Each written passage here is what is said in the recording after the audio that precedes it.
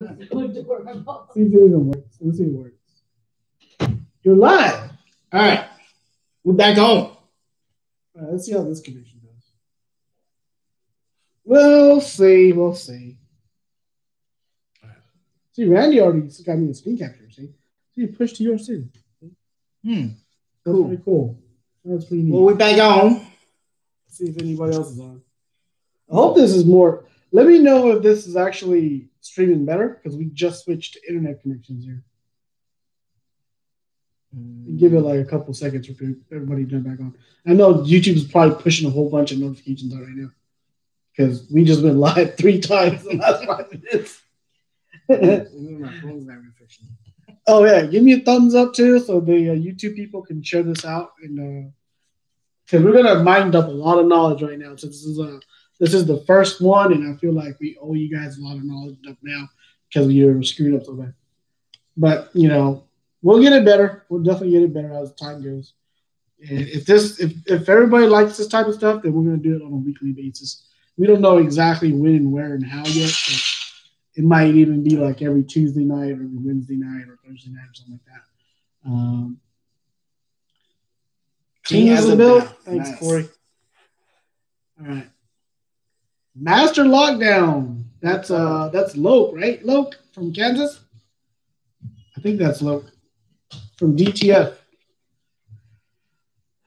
Uh, do you have any personally personal made soft plastics you'd recommend?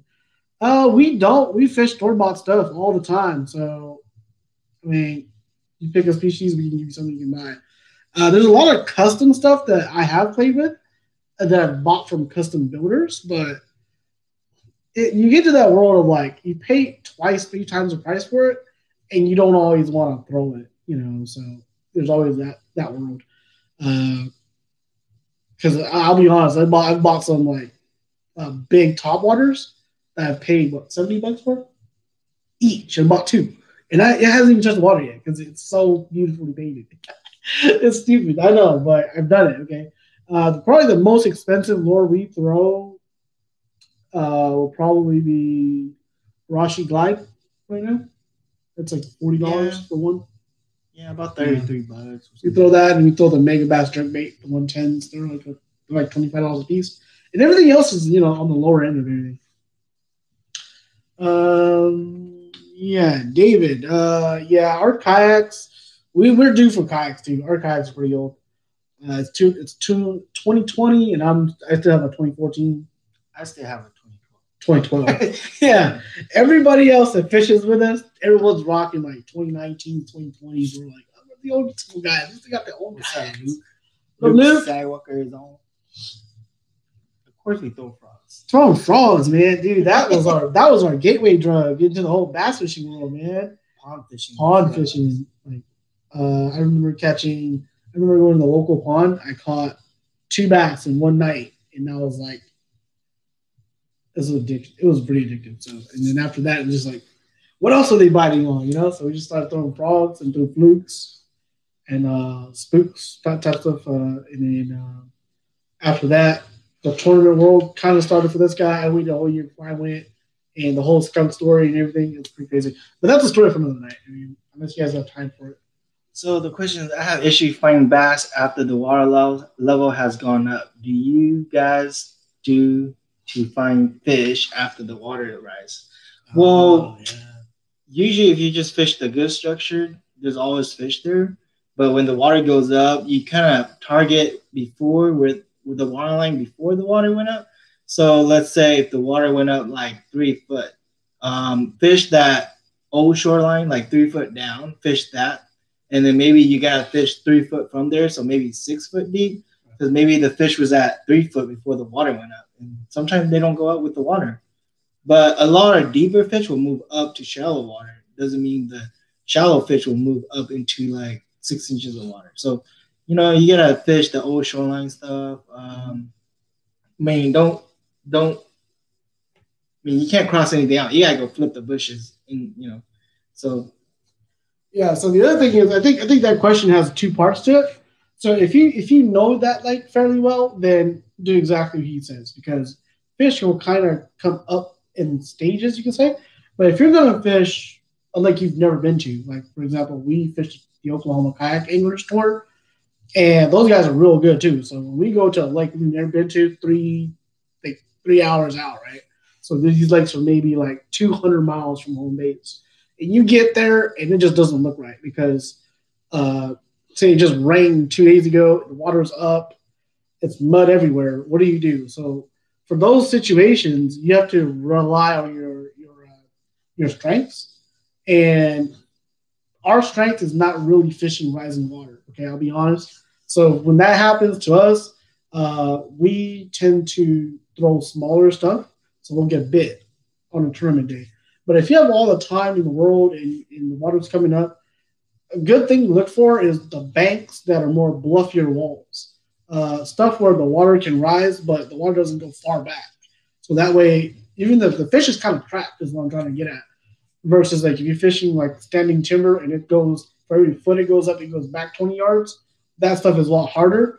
And if I had to fish that, I'm throwing a frog. That's my confidence bait. So I'll throw a frog. Some people throw a buzz bait. Uh, Senko is always good, but like I said, if you throw on a Senko, you know, on like light line, you might get bit, but it'd be hard to get them out. So that's kind of a, a gamble you have to take. But uh, but yeah, that's actually a pretty good question. Good question too. And next question is: Can somebody be able to use a swim bait or glide bait to catch striped bass? Yes. Um, all the time. All the time. So if we're fishing a lake for like hybrid striper or sand bass, uh, they're usually pretty deep, like 25 to right. 40. So right now, I, I need to do the videos. Actually, I have it in the line. I just haven't done it yet. But uh, right now, my favorite lake to chase hybrids, they're staging post spawn, of course. They're staging 25 to 35 foot of water, right? So my plan of attack is to go out there, grab them, find them, and then I'm throwing these at them. Number one is a swim bait. Okay, swim bait, three quarter ounce head. I'm, like, I'm talking five inch swim bait, three quarter ounce or even one ounce head, and just low rolling it, just hopping off the ground, or even a fluke might do okay too if you want a more like finesse presentation. Uh, the other thing would be uh, an A rig is great. So once again, that's like a big swim bait, right? And then uh, on top of that, yeah, a bunch of swim baits, and then a spoon. Throw a spoon at them, just stroke them off the, the bottom. And that's my favorite way to catch them. But all that is like big presentations. I don't like the little three inch swim bait. I mean, the three inch swim baits. Yeah, we all for the deeper water stuff, you want to go to the four and five and six yeah, inches. You got to step up to a half ounce. Yeah, down there. Yeah, because you got to keep it all on the bottom as you're reeling it. And when my spoons, I start off at a six inch spoon. So I throw a six, a seven, and I have a couple of eights on standby. But for the most part, it's a it's a six inch spoon in 30, 40 foot of water. And it weighs like almost three ounces. So that's what I like to do. I hope I'm hoping to catch footage of that so I can share that with you guys because that world of spooning, ocean, like deep water, it's it's it's it's awesome. Yeah, and then also on the glide bait, if they're shallow, I mean they're coming up to bust you could throw a glide bait at yeah. them.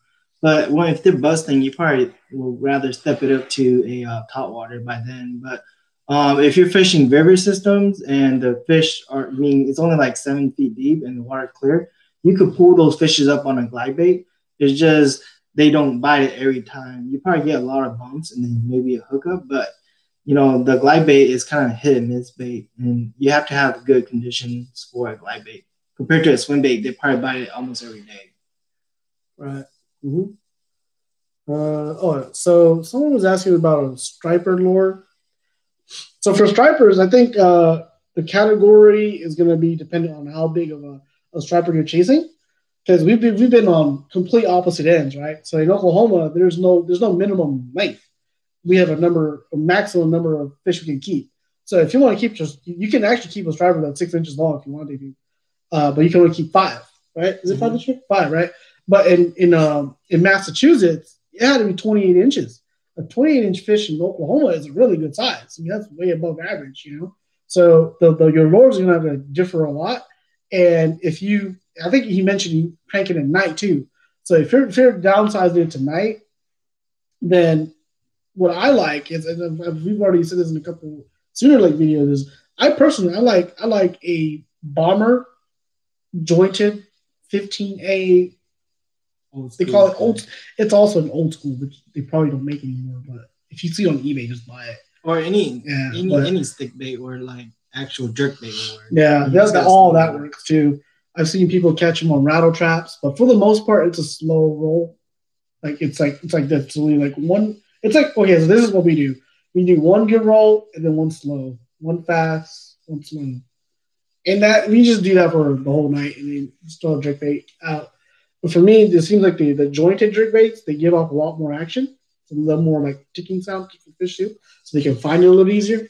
Um, but I know, I know for for the California guys, I know at least for the the the Mo people, they like to throw the Realis, the Duo Realis, like one, it's either one ten or one twenty five, uh, jerk bait. They say that's really really good. Um, but for me, I like the bombers, especially if it's night, it's pitch black, and you know you want to be real stealthy, but you want something that's rattling out there.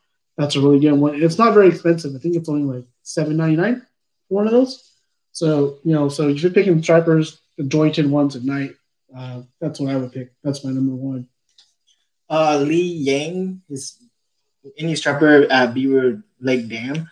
Uh, Beaver Lake Dam, pretty sure they have stripers. I don't never haven't fished it, but um, Beaver has stripers, so there should be baby stripers if you go to the dam. It Yeah. just depends if you find them in the right spot. Mhm. Uh, any good lures you guys recommend for surf fishing at night time for stripers?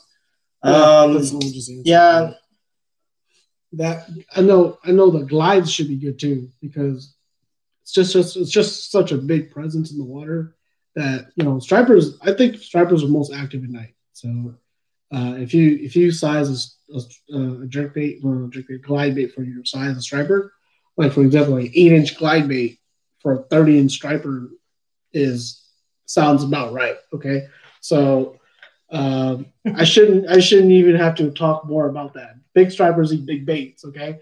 And if you get lucky, you might catch a ten pound bass too. Right? and yeah, what Luke said was right too. Depending on, I guess it's going towards if the water's up.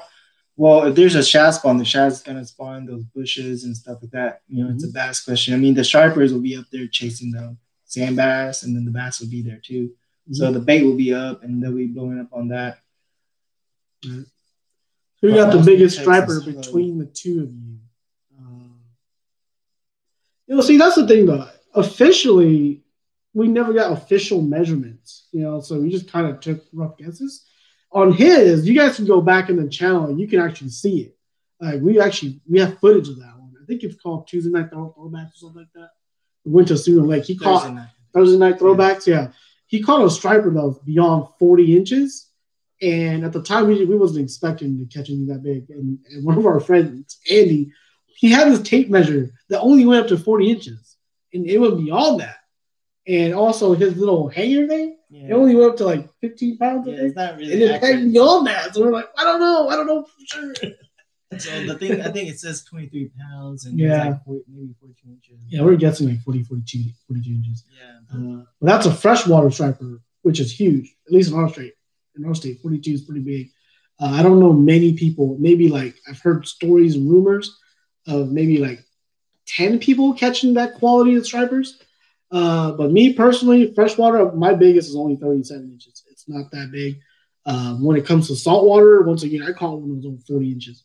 You caught one that was over 40. But that was that was like 12 years ago, and once again, we never got official measurements. I mean, Maybe got a couple Yeah. photos. yeah, a couple of photos, and then it was off to the barbecue grill, you know.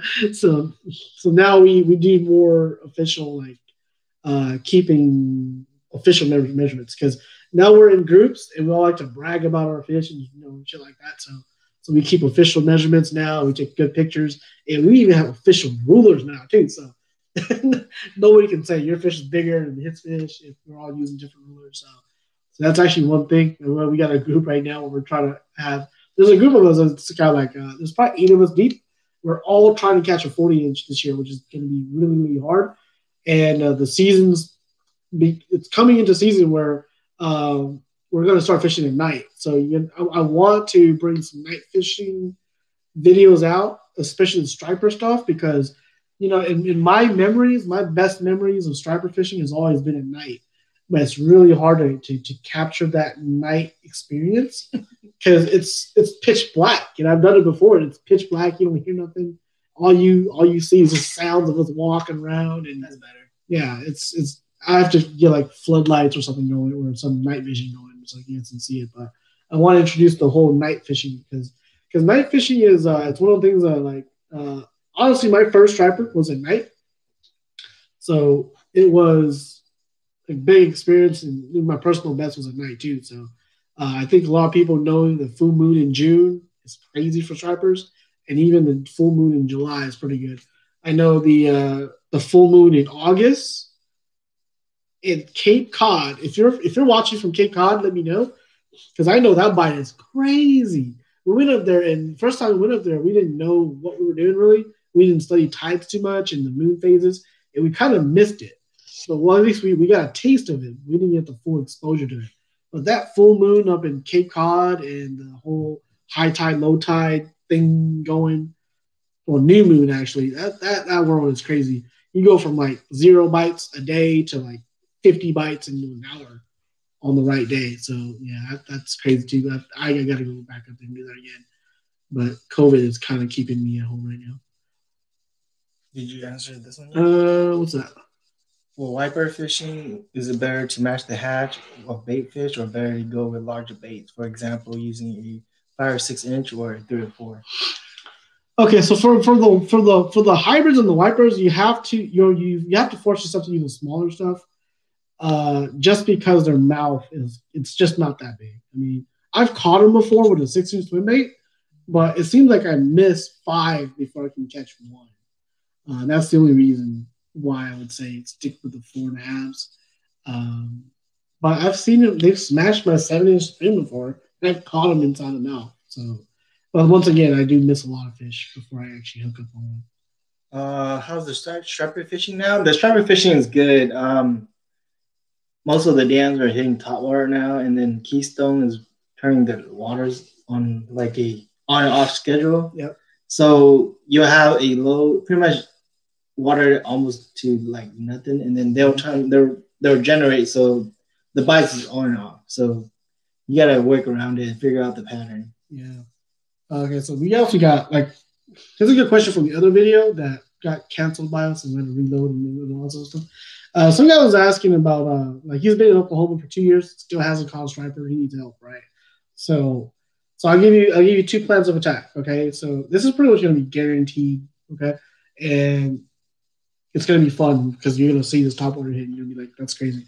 But uh, one is you have to fish. You have to fish the generation scale, schedule from the dams. So you have to look up Keystone. Look up just Google Keystone SWT, which will be the official um, uh, Army Corps website, and they'll kind of give you when the predictions are when they release water.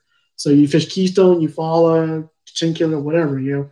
But you have to fish one or two things: either the, the running water, the release of the water, or you have to fish when it's completely dead. There's no water.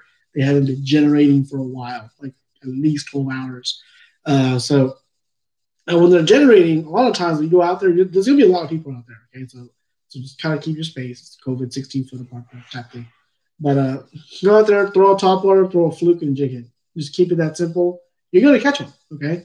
Uh, and if you see other people catching it, just try to mimic what they're doing, right? Just try to you know, you know, jig it exactly the way they're jigging it. Just don't get too close. People, people kind of iffy out there. Uh, there's a lot of uh, what do you call it, uh, river fighting kind of shit. But uh, but the but there's a lot of people. Now the other thing is the other the, the other way is the, the complete 180. Okay, you wait for the dams to shut off, and you let them shut off for a long time. And this is one thing not a lot of people know is when the dam shut off, the water has to go down, right? When the water goes down, fish are forced into pools, and when they're fishing forced into pools, they get grouped up a lot. They get very competitive. So you can go out there, you can throw a top water, nothing small head, and you know, throw it out there as soon as it lands out there, you just work it real fast, and it tends to bite on fast retrieve. You work it real fast, and you'll get smashed. You know, you'll get smashed quick. If they're there, they'll smash it. It's like first cast and first pull, you, will get smashed. You'll mm-hmm. catch a. So, um, what's the best way to find bass in a lake with none to little cover? Um, usually, if you have side imaging, that helps. Because yeah. if you could find like an offshore rock pile or brush pile or something, they're usually there because they got nothing else to go to. So they're there. If not, then just beat the bank. Uh, it depends if the water is clear or not clear too. So if the water is clear, just throw a Whopper Plopper. Okay, throw a Whopper Plopper in one of those translucent colors. Is throw it as far as you can and just wind it as fast as you can. Because clear water fish, you have to you have to you have to get that reaction bite is what is what I call it. And I've done real well on that one too, where you don't know what you're doing, but the water's too clear, and you by the time you see the fish, you spook them off, right?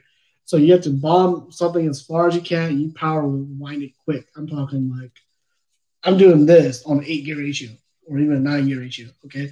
Because you want the fish to see something coming across the surface, but you don't want them to see what it is. So one or two things going to happen. One, he's going to leave it, or two, he's going to come and smash it. And that's that's the key to success sometimes in clear water. And even in bluebird days, and it's like 12 o'clock in the afternoon, you, you'll still catch them that way. Um, other than that, if there's nothing there and it's muddy, they're going to be real shallow. Um, more than likely, it's going to be like a jig bite, something like that. So if it's muddy, they're always. And this kind of a rule of thumb for us too. And we got this from some of the professional anglers, uh, primarily Brent Ehrler, and he said that he's only going to fish as deep as he can see the the the ground. So, if for example, if you can see down five feet, he's only going to fish five feet and maybe to ten, but not much farther than that because the fish they they kind of use that uh that darkness as an ambush too. And if they're hungry, they're going to be right at the edge of the, the light of the dark. So uh, that's a that's a really good point for, for, for finding fish in an area that has nothing. And so a lot of people say a lake might have nothing, but it actually does have something. So if you have one, if you have a good fish finder, uh, reference my fish finder on that, fish finder video on that, and it'll help you decide on what you want, what you can afford.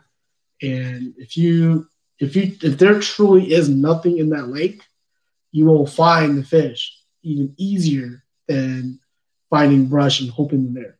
Because imagine if you're walking down the sidewalk and it's a perfectly clean sidewalk and there's three marbles on it, you're gonna see the marbles really, really easy. Okay, so side imaging is a big deal. Uh, the off topic um, JV says, "What's the recommendation for a good budget boat for a person's first time owning a boat?" Um, you can go into the kayak world, like uh, it's yeah. a little cheaper. Yeah. Uh, John boat's pretty good if you're fishing river or shallow water. Right. So I think it depends on what you want to do with it. Yeah. So if you if you're if you're if you're say doing mainly ponds, uh, smaller lakes, a John boat is by far the best starter boat because it's cheap. You buy, buy you buy a brand new, it's nine hundred bucks. You get a brand new trailer, it's like five hundred. You put an outboard on it, it's two thousand five hundred.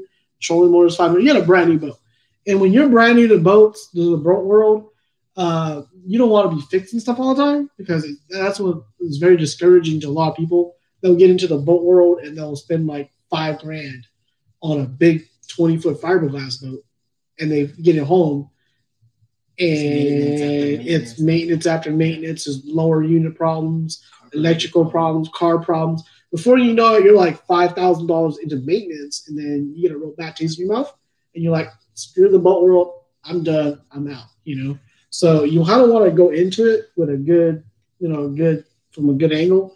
And also, if you're just doing like, if you're just fun fishing with your friends, uh, and, you, and your budget's really low, a kayak is really, really hard to beat. Kayak has no maintenance; it's zero maintenance. Especially if you buy a kayak that you can throw on top of the roof of your car. It's zero maintenance. It's it's made out of plastic. You go out there, you pedal, and then that's it.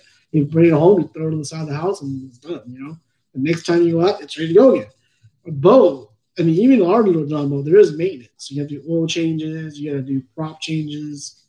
I mean, even for a little boat, it is it is maintenance. So I do spend about three hundred dollars a year on just maintenance. Where the kayak, it's the only time I do any maintenance on it is like, uh, so if you run Hobies, we have these cool little drive things that do this, and we hit a lot of stumps. So we'll bend these legs out, and then we just have to rebend them back. Or, or if we rebend them back two, three times already, we'll have to go and buy those uh, shafts again, brand new shafts, and we replace them about once a year, maybe. Yeah, yeah. maybe once a year. Uh, I carry spares just in case, but they're like sixty dollars for two, and that, see how cheap that has got compared to the three hundred. Plus, there's no probably no registration. Okay, so in our state there is no registration, so you don't have to pay that registration fee every year also. But That's a good question. I should probably do a video on that. You guys guys fishing with subscribers? Uh, we don't guide fish yet because we're too busy working. but eventually, I think eventually we're gonna guide. Maybe we'll we'll be guiding. Uh, not just striper fish. I mean, bass fishing, striper fishing, Well, yeah, we'll, bass we'll fishing. do all types of videos. Yeah, I mean, we could put out jugs. jug lines, Jug you know, jug line guide fishing. Definitely. Okay, so so I've thought about that a little bit too. If we were gonna do guide fishing, it'll be uh definitely stripers, definitely white bass for sure. Bass fishing, maybe because there's so many different. More of a it won't. If I was doing the guide thing with bass, it won't be really guide. It'll be more like a coach. You know, you go out and I just kind of tell you this is what I would have done. This you do wrong or you know do this and do that versus I'm just put you on fish and it's luck fast talk. You know, it's like you know, we're not gonna do that with bass. So Um, Master Lockdown said his buddy caught 14 striper as sooner. That's believable because I broke a big one, so we've broken off. Well, he had broken off a monster. We bigger than that 40 I couldn't caught. turn it. You know, same night too, right? Yes. Yeah, Like the cast or two before that. Yeah, we didn't get that on the video. So you guys get a nugget right there. Oh, do we use JDM surf rod like the Shimano, whatever or something? Yeah, we uh, there's a I almost I almost bought this Daiwa rod one time. Uh, it was called the I don't know what it was called, but it was designed for like the the, the Japanese striper that they have over there. I forgot what it's called, but it was like a five hundred dollar rod and super light. Came with the, the the Fuji AGS guides, which was our carbon, which are the proprietary Daiwa carbon fiber guides. And the only reason why I did not buy it is because if I ever had a problem with it, the United States would not warranty it. So you'd have to send it all the way back to Japan. And by the time you do that, and plus you don't speak Japanese, so it's not going to be worth it. So if you're going to spend that amount of money, like I'm talking, if, if you're talking JDM rods, I'm talking 500 up, right? Look into the world of custom rods. Okay, uh, go get a reputable rod builder and have them measure your, your arm and have them build you a custom rod. That's fit for you. Yeah, it's fit for you because even with our surf rods, I'm already starting to get away from the factory surf rods. I'm starting to look into the custom surf rods right now. And we have a whole rod builder thing going in Like-. For example, my 13 foot surf rod, like he can't handle it. Yeah, he can't fling those like lures the same way I can because I'm taller, I'm stronger, my arm length is a little longer, torso is longer. I could torque that rod better, and everything's a little different. So you could build a rod that you don't have to torque as hard to get that cast. Right. So and, and it, it, there, there's a little science to a rod too. So like for example, like for me, I can't handle anything over an 11 footer, but he likes a 13. And also the rod action, when when put it this way, I can't put enough force behind my rod, but he can. So for for us, if you're if you're like a medium caster guy, kind of like me, you want a rod that's more like whippy. Where his, he likes more stiffer rods because when you put a lot of power behind a stiff rod, it can actually deliver more power to the lure. But you know, you have to kind of think about what you like also. So, and then also the other thing, what are you trying to do with it? You know, if you're throwing throwing like a one ounce, two ounce, three ounce, that really really comes into play too. Uh, so because you don't want to have too light a rod and throwing a heavy action, not heavy action, throwing a heavy bait, and you know vice versa. So sometimes it boils down to two rods, and that's what I've kind of actually come to. Carry two rods. I don't know if you have watched my other videos or fishing at the dams, but I carry two rods. I carry a black 11 footer, which is a, a Daiwa ballistic, and it's got an Aero Technium on it, and that thing casts forever. But the thing is, it's pretty heavy. I don't like to throw too much. And then I also have a red uh, St. Croix uh, Avid, and I have a Daiwa uh, Certate, 3500 on it. So a nine footer and an 11 footer. I fish the nine footer a lot, unless if I gotta like do that 100 yard cast, then I'll bring out the 11s because the 11 can get that, and the nine can even get close. Yeah. Mhm. Um. Yeah, you guys could join the 40 inch club. I mean, once you catch it, just post it up on Yeah, our yeah. page and our YouTube, uh, Facebook page, and hey, join the 40 club. So yeah, Uh, fishing is dope. How is my boy Her J Hyung adapting to the Oklahoma fishing? Uh, yeah, Her we fish with him almost every other weekend. So Yeah, we haven't fished with him. He's actually our first cousin. Like Uh-huh. his dad and our dads are brothers, so uh, we're we're first cousin, and yeah, he's he's good. he's getting along. He's he's um, Um, fishing one of our favorite lakes pretty Right. good. He's still he's still a very finesse guy. And we keep telling him you gotta throw square bills. you gotta throw like big worms, you gotta throw big jigs, and you gotta throw it on 20 pound line, you gotta throw it on 65 pound line. And he's all like, uh, my 10, my 12 is good. No, but like uh, he's a good fisherman. And He's a coming, good fisherman. coming from California to Oklahoma is totally like night and day almost. Yeah. I mean, bass is still bass, but you know you catch on single. But other than that, if it's the finesse game, you're, you're always good. at the Yeah, finesse game. he's But. You know, you got to learn the power fishing game or the frog or the buzz bait, which is different out there, you know. And I mean, his glide baits and uh, Huddleston skills are probably better than way better than ours because we don't Yeah. throw that at all. Yeah. So We're yeah, still learning that. yeah. So um, he's doing good. He's just fishing lakes, and we've been doing our online tournament, which just ended last month. So we haven't had much time to fish with him, Yeah. but we will pick that back up. I'm probably gonna fish with this weekend actually. PB Stratford is about a 42 inch landlock out of Sooner Lake.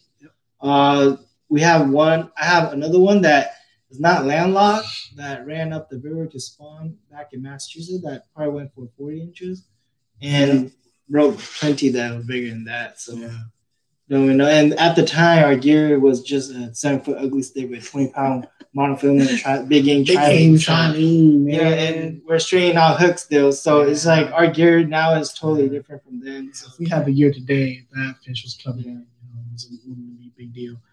Uh, let's see. Aaron Moore, how do you locate striped bass from a kayak or boat in the lake in the summer?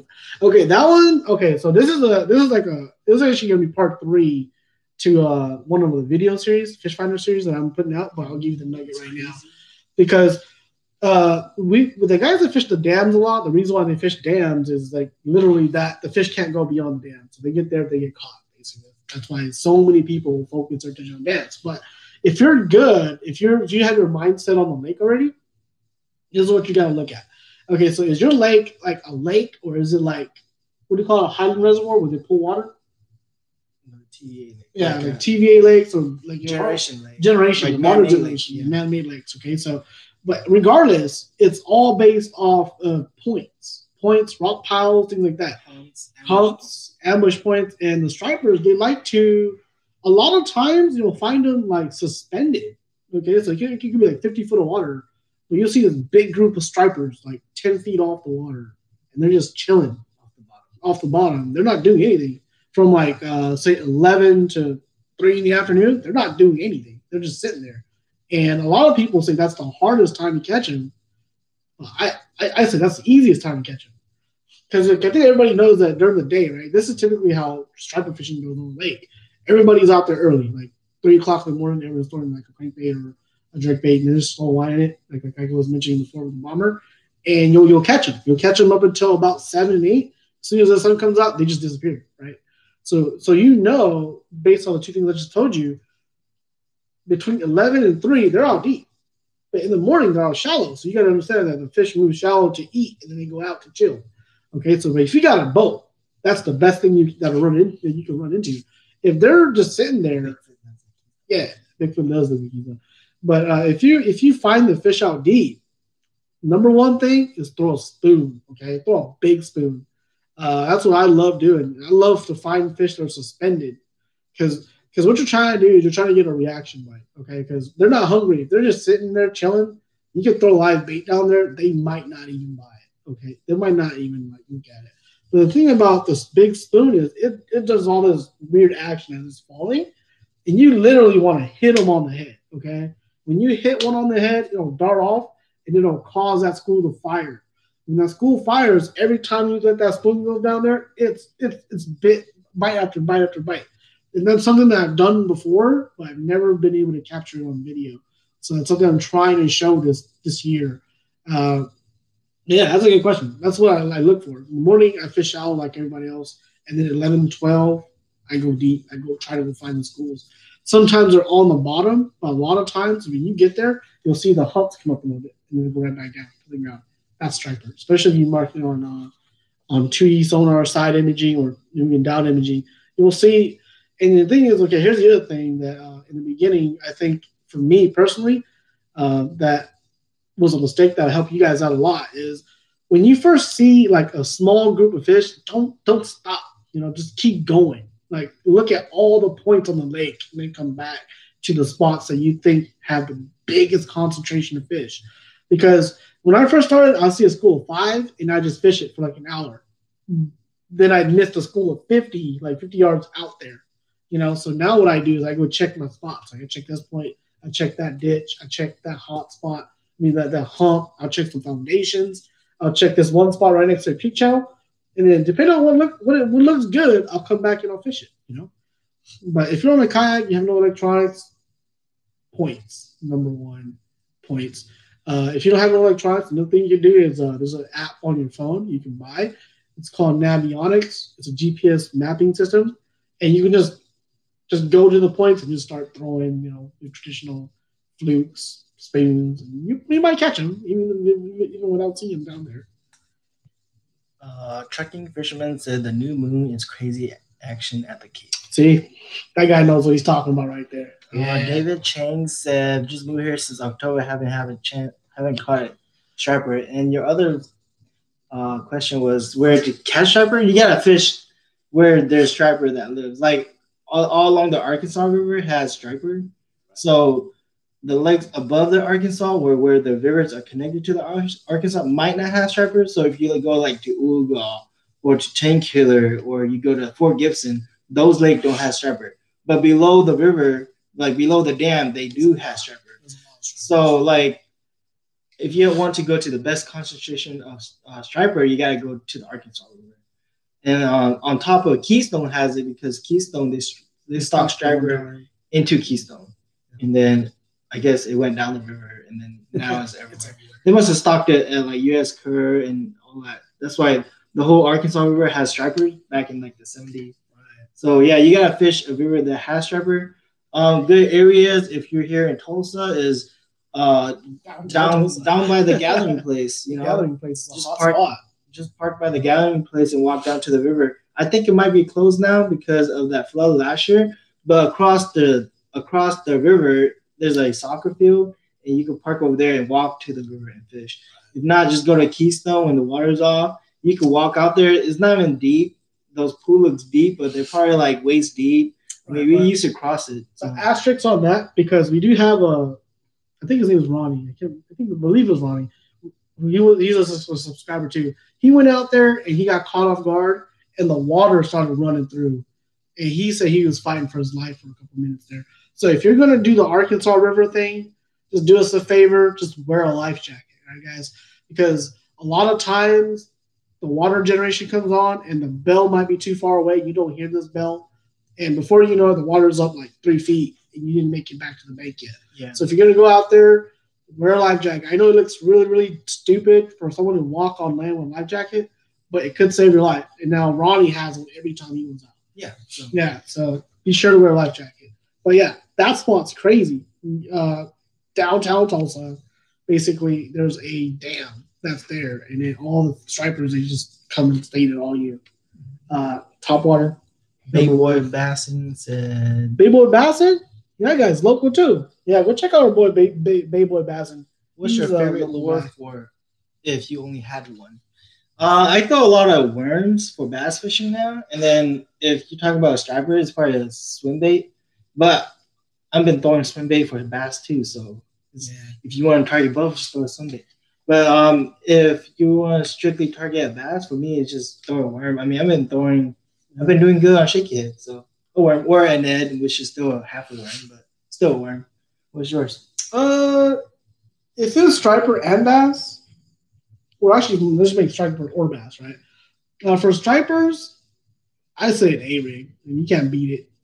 We have we have so much footage on it. I've been beaten by it so many times. Just throw an A rig, it works all day, all night. It don't matter what time of year. They just smoke that thing. Okay, so that's striper fishing. Uh, if it's bass fishing, I like I like frogs, man. I like topwater frogs. I mean, I, I some of my best memories. Some of my personal biggest bass, we call them frogs. Was, I love frogs. sunfish for sunfish for fish. Uh, Bigfoot li- lives at Keystone. Let us know. Me know. And then Hey, hey, side note, right? We watched, we listened to this podcast called Sasquatch Chronicles. Woo! Might get on the show. They got some scary stories on that. So you gotta go just go check it out. You will not be topic, disappointed. but off topic.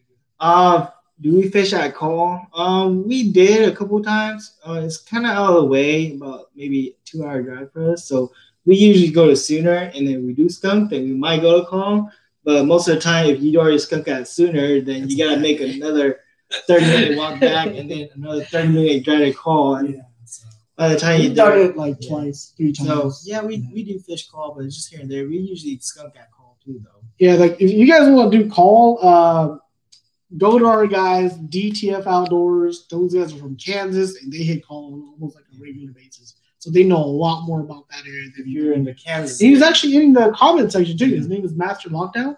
You'll you'll just just look up Master Lockdown. You'll- yeah. So if you're in the Kansas area, Master Or Lockdown, South Kansas guys, Central they- area. They, hold it down up there too. That's who you contact. laws, Yeah. Um, what's up, my Pete's bait casting for beginners? Oh yeah. I can never figure out. You get an SV spool. okay, okay. So, so the bait caster rule, right? So, okay, that is a very, very good question because uh, before we got into bass fishing, we could care less about the bait caster, right? But there's a big but. Okay, so a lot of people will say, why would you ever want a bait caster when a spinning reel can do everything the bait caster can do? Well, that's just because you're ignorant and you don't know what it's capable of. The bait caster think of it like this: you put if you could put twenty pound line, I'm talking plastic lines, right, like fluorocarbon or mono, on a small spool. There's no way that thing's gonna throw more than forty yards, right? So for for, for the most part, uh, you you want smaller line, less than ten pounds, eight, six, four spinning reel, right? Or if you go with braid, the braid equivalent, 15, 20, 30, you wouldn't really go over 30. Okay, but on the bait caster, it was designed to carry big line. Like for I mean, our spools on the bait caster, they're not really big, but you can pull, you put 25, 30 pound if you want on there. And on the braid side, I fish 80 pound braid on my frogs. So that's the benefit of it. Okay. So, so with that going out of the way, you have to understand what you're getting yourself into. The bait caster is also a lot faster. It's a lot gear ratios. So for a spinning rod, you turn it one time, it cranks in what, 25 inches, 25, 26 for a traditional size. I'm not talking a surfer, reel, surf reel is different. But your traditional like Shimano Stradic 2000, 3000s, every crank of the handle, you reel in like 25, 26 inches per turn. On a bait caster, you can get them so they're reeling 40 inches per turn. So it, it the opposite, the, the, the, the, uh, if you're, depending on what type of fishing you're doing, but uh, if you're fishing one of those situations where you really got to crank really fast, like I said, the clear water situations, a bait caster will definitely keep you from getting fatigued compared to a, a spinning reel. Plus, you have to. Yeah. yeah, and another thing too, on the on the on the ergonomic side, right? The it's literally a button press versus right. It's it's it's just better set up. It's faster. You get like three out of It's Three a lot one faster and it's got a lot more power too. So that's one thing that like yeah, unless you've fished it, you'll understand. When I say power, I mean cranking power. Like on a spinning reel, when you crank, it struggles to crank. On a on a bait caster, you crank, it's smooth. It just it just pulls it in, you know. yeah, it's just a Um, mini winch. Yeah, it's a winch. It's it's crazy. and you can't figure it out. Um, it's simple. we have a video on that, but I need to do an update on it. We'll do another video on that. It's, yeah, it's basically there's two knobs on it. Typically, well, I've, I've left hand knob, but the knob on where the handle's at, right? And you start with that knob. So you turn that knob until you have to fill your spool while you're turning this little knob, right? So you're you're you're you're, you're kind of filling the spool, make sure it slides left and right, and then you keep turning this knob until it doesn't move left and right anymore. And then you go like another quarter turn. That's that's a good spot to start, okay? And then if you're just pitching like within 15 yards, you don't even need to mess with the magnetic drag at all. It should not backlash on you, right? Because that's the that spool. It's called a spool tension knob. That knob helps you with like short casts. You can even turn the magnet completely off; it'll be fine. But the magnet comes into play when you need to make a long cast. So when you make a long cast, then you want to start with that magnet on max. And start with heavy. Yeah, board. and start with like uh, you need to practice in your backyard. I recommend a half ounce weight and put some cheap line on it because you backlash a lot. So like go to Walmart or whatever and pick up like 15 pound catfish line and practice with that. T-Bang. What size boat do you guys get? Um, if we get a new boat, it'll be a big boat. right now we have like a 14 foot John boat. You guys see it on the channel all the time. We do some damage on that thing all the time. But my next boat, right? So so we kind of have we kind of like since we are we are a YouTube channel and we're trying to do fishing all the time and we're trying to do different situations and things like that. So we have kayaks. So kayaks is covered. We have a top of the line kayak. The two kayaks we run. For those years, 2012, 2014, that's the most expensive kayak you can buy. It probably still is right now, right? The Hobie Pro Angler. yeah, it still is, but it's outdated. But you can still keep up with it, guys. And then as for a boat, we have a 14 foot with a 10 horsepower on it. That was my first boat, and it's a good starter boat for me. But quickly, it started becoming not fast enough, uh, not big enough, not you know, not able to carry enough equipment. So for our next boat, It'll be a big boat. it'll be a big boat. I'm looking at a 20 foot with like a 200 horsepower on the back. That's what I want because I want to do a lot of things. Uh, and I, I, I want to keep it aluminum so that way I can still run the rivers and I can run bass tournaments with it. So it's a multi-species boat. But you kind of have to look at what you want to do. If you do tournaments, you got to have high horsepower. It's just no way around it. You got to have high horsepower. Uh, but if you're not, then um, you know, 90 horsepower is more than enough. You know, 40 is going to be plenty for you. you know? Ten kills it. Yeah, 10 horsepower motor, it's it's gonna get us 20 miles per hour. So David said, "Is a Sun Dolphin kayak good?" Uh, no, not really. They're not really good. Yeah, At all. that's a that sounds like a newbie question. So let me address the I guess the kayak decision mine, right? So this is a this is a question that our cousins ask us all the time. You know, like I want to get a kayak. Is a three hundred dollar kayak good? It's, it's, it's a good question, you know, but but but I have to say, you know, okay, so are you are you pretty good at fishing already, and you try to get into the wo- boat world, or are you just like, I just want to go have fun on the lake, and hopefully I can, you know, paddle around a little bit. So that's two totally different things, because we have so many stories where people uh, we we call them bank beaters, and that's we are too. Before we advance the boat world, where you have good equipment, right? I'm talking like a setup that's 200 bucks. That's that's good equipment. Rod and reel, 200 bucks. So you imagine you you're gonna go on a kayak, right? So you're gonna carry like four rods now, right? So you, you're talking eight hundred dollars worth of equipment, and your kayak might flip. Okay, when your kayak flips, all that is gone basically, and I've heard what at least five or six stories about that already. Mhm. People losing thousands of dollars worth of equipment because they didn't buy a proper fishing kayak. So definitely look at the fishing kayaks. Sun Dolphin doesn't make one, by the way. Uh, the brands we recommend. I mean, it, we run pro anglers from Hobie, but there's a lot of good options right now. Ever since 2016, the, the industry has shifted, and just about every company has a fishing kayak now. So I just tell people buy a kayak with foot pedal or like propel drive or something, yeah, something like that, because you don't want to pedal your arm, and paddle your arm, and then cast and Yeah. then paddle again. You see, that's So- a good point because Yeah, we have just- a lot of friends that buy a pedaling kayak, no, a paddle kayak, and they upgraded to a pedaling kayak Yeah. within So, a year. You know, so just buy one, so you don't have to buy again, because you'll lose money in the long run. So just buy a good one. Heading in Keystone tomorrow. Any tips on striper down there? Usually fish Kaw. Uh, striper try to hit top water in the morning. Um, before their sun comes up. That's usually the bite. But if they're running water, you could drift flukes with maybe like an ounce, an ounce and a half. yeah, Keystone. Keystone is a very, it's very bipolar sometimes. Yeah. Uh, so you have to, well, go back and watch your videos. But if I was going to Keystone tomorrow, this is what I would bring. I would bring a surf rod and something that can throw really, really, really far. Because if they're releasing the little floodgates, you want to hit the floodgates, and that's where the bite, the big bite, needs to be at. Surf rod. Surf rod, uh, weighted top waters. Go watch that video too on how to make your top waters throw farther. How we drill our baits and we stuff them with BBs and everything. Make sure you got a couple of those. Other than that, you know, you drift the fluke. The fluke always never disappoints. Um, rattle traps. I've caught them on rattle traps a lot. Swim baits. Swim baits, drifting swim baits. It's pretty good. Yeah. So yeah, Pretty much anything. Right. Uh, if they're blowing up on shad in the middle of nowhere, you just gotta reach them. They'll buy it. Mhm. But the hard part is to reach them. Jose says SP minnow or hydro minnow. Hydro minnow, definitely hydro minnow. I haven't used the hydro yet, but the SP minnow is good. Yeah. Cats is good. And we're considering a DC reel. Uh, we're big into the Daiwa stuff. I mean, Shimano is good too, but we're running Steezes as SVs, so it's not really a Tatula. Once you go the Steez SV, and nothing really compares to for light stuff. I mean, we, we're tr- traditional Texas rig or something heavy.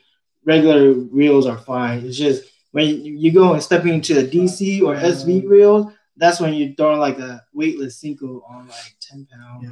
like super finesse. So the It, it makes a good beginner reel too because it doesn't backlash a lot. yeah, Yeah. so But for me, for me, I've actually been asked that question before. You know, do you, do you like the SV system or the Shimano DC? Because that seems to be the hot topic right now. And my my argument to that is we are tournament fishermen and we fish in all conditions. So if you're going to tell me there's a little microchip on it that can rust out while I'm fishing in the rain, I'm totally against that. Because the, the Shimano like I said, the DC system is an electronic chip of some kind. It makes that wing sound when you cast it. I don't even know. I, I've never seen it fail, but it's just one of the things in the back of my mind, right? So there's a chance of failure versus if you buy the Daiwas, it's all magnetic, it's mechanical. There's no electronics. It won't fail on you, you know. So at least that's that's my take on it. And I say the magnetic is going to be more reliable, so I go that route. But regardless, it's gotten to the point where it's just personal preference. Mm-hmm. You know, so you can't go wrong with either one. like oh, like I said, but mainly DC and SV are built for like super mm-hmm. lightweight stuff. Kind of like instead of throwing it on a spinning reel, you throw it on an SV a reel or a DC reel. That's if you're, what if you're gonna buy a DC to cast a chatterbait or a spinner bait or a jig, I think you're wasting your money. Yeah. And If you're gonna throw a Ned or a Yeah. finesse swim bait, Yeah. or maybe even drop shot because you don't want to Mhm. throw it on, Mhm. you know, Yep. that um, fairy one, then Yep. yeah, that's Yep. where it, that, that's I where have- I have two Steezes, and they're like four hundred dollar reels. I throw Ned rigs. I throw two pointed kitex on. Yeah, that's that's the that's the whole point of that reel, you know. So that's that's why that's why I use those expensive reels for. Um, nice win last week. Thanks, man. Thanks, Richard. Mhm. Menu, the menu. When y'all cast, do you get both the same distance despite being one thirteen and one ten? No, the thirteen No. outweigh out the the ten. No way. Uh, the only time you struggle more with the 13 if you're throwing like a bomber, which is only an ounce, and that 10 footer will throw it better than the 13 because that 10 footer is built to throw lighter stuff. So the cast casting lighter stuff with that 10 footer is actually better than 13. So the the 13 is really only good for bombing like hot water, like Three 100, ounces. yeah, 150 yards out there. So that's about it.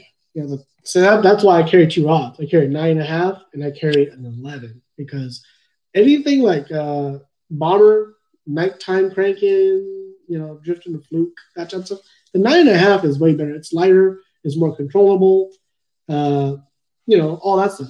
But it comes a time where you're gonna have to make that cast, that long cast, and you've seen it time and time again, where they are biting hundred yards out. If you can't get out there, hang up the rod and just watch the show, okay? Because you ain't getting bit. All right. So there was a time and a moment for either rod. And yeah, the longer rod tends to throw better than the shorter rod, assuming you have the same line and the same reel. Now, if, if it's different combinations, then it can matter a little bit different. But assuming everything else is the same, the longer rod typically throws a little bit longer. You guys, bo- do you bottom bounce chatterbait? Go? All the time. 90% of the time.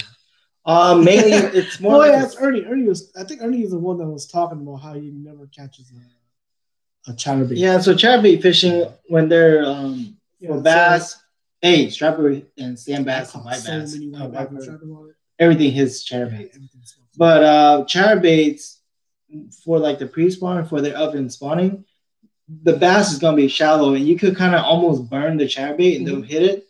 And but right when they spawn, for some reason they don't touch it. They don't touch it. You don't really get bite on. I mean, you'll you'll catch the pre-spawn that are moving up, but you're not gonna catch the big wave. So it's not. It's kind of like a dying pattern or not the dominant pattern. So we don't throw chatterbait much.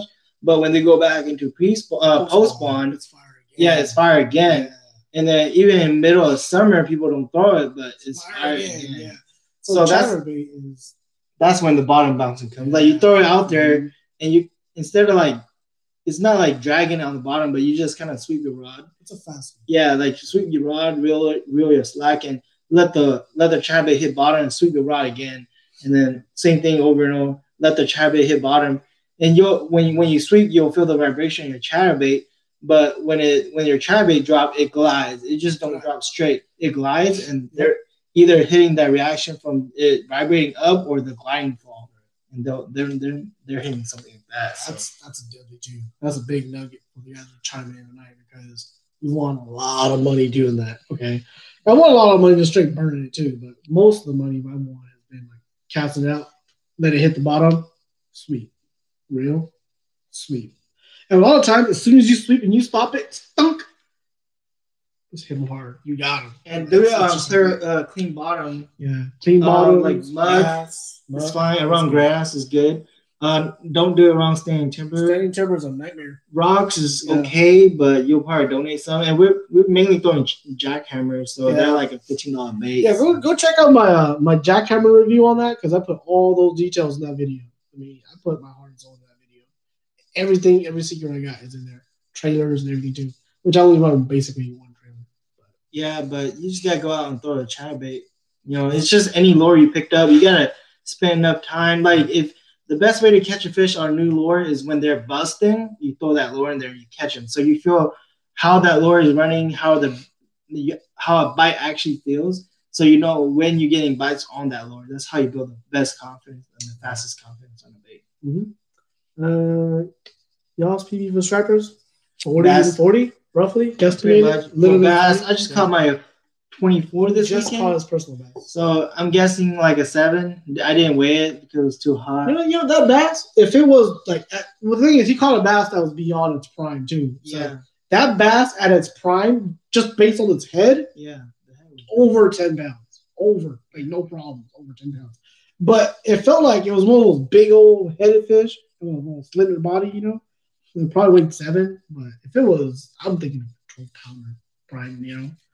Um, so yeah, that's that's his personal best. My personal best, uh, I caught two 24s. I caught one at Lake Fork, and I caught one in Cottle. They're both in videos too. Just go back in the playlist and you'll see it. Um, but yeah, caught them on a 5XD in Conoway, caught on a 10 inch worm in Texas. That was the first time. Like I've never caught a bass over 20 inches, and then I catch a 24 in Texas. Yeah, that's yeah. crazy. During the tournament too, and I didn't even win big bass. that's crazy. That was on Forks though. That was on Lake Fork. Yeah, Lake Fork like that. If you want big to come to Tennessee every year, you can catch a 40 plus easily. If you know the spots, guys catch them at least one to two around 60. I will take your word on that, and we are coming to Texas because the goal is the goal is to grow the channel so it's big enough so we can actually become one of those other like cool YouTube channels where we just travel the country fishing. And one of my goals, and I'll let it I'll let it out the cow's bag right now, is I want to do a 50 states in 50 weeks, traveling show basically. Why not 50, but like maybe 48. Yeah, 48 in 50 weeks because he's two two weeks off, right? So that means what does that mean, right? We gotta hit Texas, we're gonna hit Florida, we're gonna hit Tennessee, we're going back to the Cape for sure. We're gonna go to Montana, catch some weird trout up there, whatever it needs to be. Probably go fish the Salt Lake and get skunked because no no freaking life over there. But you know, you know what I mean? Like we want that's our that's our end goal with this channel. So that's what we want to do. Mm-hmm. Definitely gonna come to Tennessee. I see those videos where you guys are smashing giants at the dams, and you guys don't even have like uh, off off limit areas like our dams. Our dams have to be 50 yards back. You guys actually go right up to the dam. And you just drop the 100, boats down. It's crazy. Yeah. Yeah. So we're definitely hitting Tennessee. By the time that happens, I hope I already have my 20 foot uh, boat with a 200 on the back, and I'll tow that all around the country in the Tacoma. It'll probably be twin turbocharged by that time. What happened to our Hobie Outback? The Oh, we still got it. Yeah, still got it. We still just- use it. So it's a garage queen. it's a garage queen right now. It's only twice. Um, we're gonna do a rigging video. Yeah, so that's the other thing too. Uh, it is the. I hope Luke is still. I still need the parts from Luke, but uh, we're gonna do a build your kayak in ten minutes type of video, and I'm trying to get all the GoPros kind of situated get the lighting just right because uh, I want to do that right now. I think that hasn't hit the kayak world yet. I know the, the car world they're doing builds that are like six months long, but it's all time lapse and it's all like and then ten minutes later you have a pretty beats ass you know car. I want to do that with a kayak too. So the the Hobie, uh, we actually won that. I won that in uh, the BBKC tournament. I placed second. We won a we won a Hobie uh, Outback, and we haven't really used it much. I think it's been out like to twice or three times. I use the drive in my pro angler, but that's that's all we do. So we're gonna do a video on how to rig up a badass kayak because uh, why not? You have pieces just lying around, so you might as well do something with it. How important is it to have the right type of line for the type of fish you're catching? Um, you can catch fish on any line you want, but mainly your line interferes with the bait you're throwing. So if you're throwing a diving bait or one that's in the water column or on the bottom, you want to throw fluorocarbon. And then if you want to throw something that's floating, then you want to throw monofilament or braid. But then you could go into the braided leader, which you could change up your leader from fluorocarbon or uh, monofilament to save money.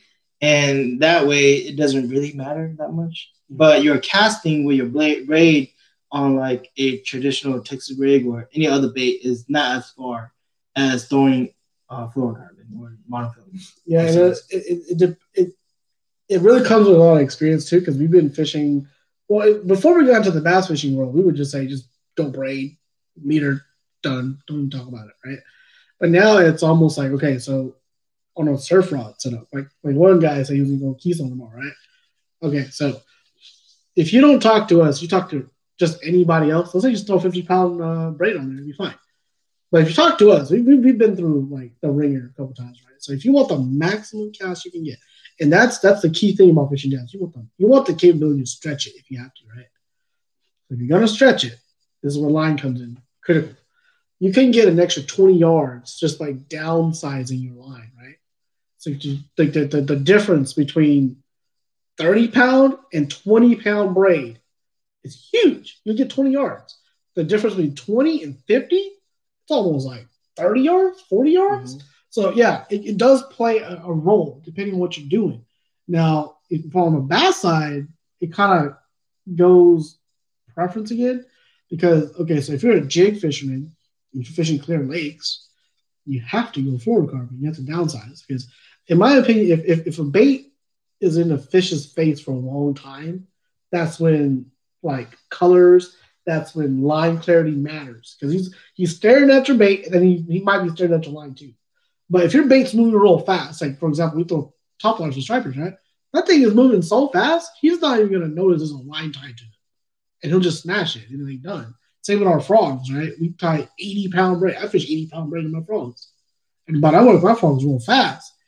He's not gonna notice there's a line's up there and he'll come and smash the frog, right?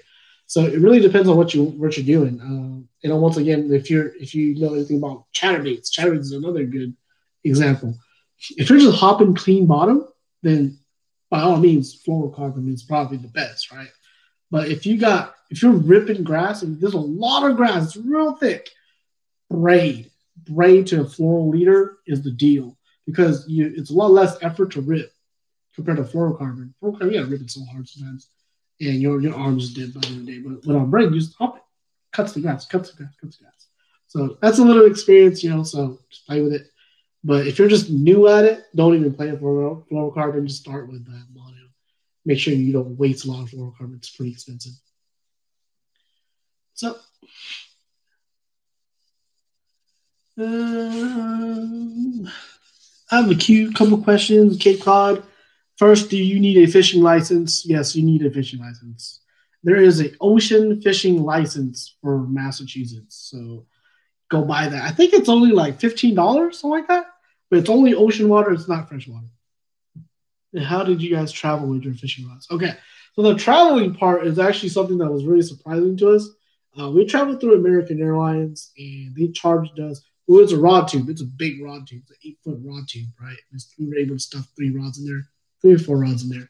And when we got to the airport, it was considered an extra extra large uh, baggage. So instead of being charged forty dollars for an extra bag, we were charged sixty dollars for this thing, and that's how we were able to travel with it. And I really don't recommend it. Pretty much, it kind of sucks. If you can't go there, buy just bring your fishing reel. Yeah. Buy a cheap surf. Yeah, pretty much. Yeah, or ship your surf rod to somebody up there, or your Airbnb or something. yeah. You'd rather just ship it. It'd be cheaper. Ship just buy a brand new rod up there and it's Craigslist out and free ship it back. Or or Yeah. use it, clean Yeah, or give it to your cousin. or something. yeah. Do we still um kayak bass fishing or just bass boat? No, we still um kayak bass fishing. We don't have a bass boat yet. Yeah, yeah, we uh we fish with our friends though. We have this thing called Bass Buddies. We haven't done it this year yet, but you know, the little John boat it does pretty good. We do beat the field of bass boats sometimes. you know, we don't have a live or anything, but we just go out there for fun. We beat some of the guys up. We good, we good time. I was just talking about that. Um, yeah, we're, we're we're in the works. Like I said, as the channel grows, we'll bring on more equipment, boats, uh, boats, cameras, you know, things like that. So. Uh, so definitely look out for that. Um, I'm trying to sell off some property and get some funding for a boat. So once that goes through, we'll definitely get a boat. And I just bought the house. and we just he just bought a house. Yeah, so I'm kind of in the hole a kind of in the hole for a little bit. oh man. So, anyways, um, what else questions they got? That's it. Yeah, we're, we're going on an hour already. Yeah. Dang. Well, y'all got any more questions? Shoot it this way. Yep. Oh, how do you, should I get and be oh kayak bass fishing? That's a really good answer actually. That that's a whole that's a whole video series in itself, right? But primarily get a kayak that, that, that that's designed for fishing. Okay, that's what I want to really stress because I don't want anybody falling off their kayaks losing all their fishing gear and, and that, that type of it's a nightmare basically is what it boils down to. Because you could losing your fishing gear ain't, ain't much, but you can think about you can lose your wallet, you can lose you know, Oklahoma, we carry guns, so you can lose your pistol. okay, so that's pretty expensive. That's like four, five hundred dollars sometimes, thousand dollars or something. Other guys. Okay, so you want to be, you want to go on the water and get off the water safe. Okay, that's what I want to stress a lot. But primarily, uh, kayak is blowing up. Man, it's like it's everywhere. There's everything from like your your your, your club level, which is just like it might just be a one lake all the time, or it could be like a traveling circuit, a traveling tour, right? So right now we fish two tours pretty much. Uh, we fish the Oklahoma Kayak Anglers, which is I I, I believe is the top tier uh, circuit of kayak anglers in the state of Oklahoma. Uh, the guys that fish with us and that do well, that qualify for the national championships, they go to the nationals and they do well as well. So that kind of tells you the caliber of it. But that might be kind of a over the top for some guys. So, if you're one of those guys that's like, I just want to get started, how do you get in this world? We also fish the Tuesday nights. I call it Tuesday nights, but it's actually called the Tulsa Bassathon. It's Where- just a jackpot. Yeah, it's a jackpot, but they do keep scores. So there's an angler of the year at the end, right? But you go out, it's two hours of fishing, and for the most part, you know, that's the major thing too. It's a two-hour tournament versus a full blown eight hours, and you're traveling three eight hours to get to certain lakes you've never been to.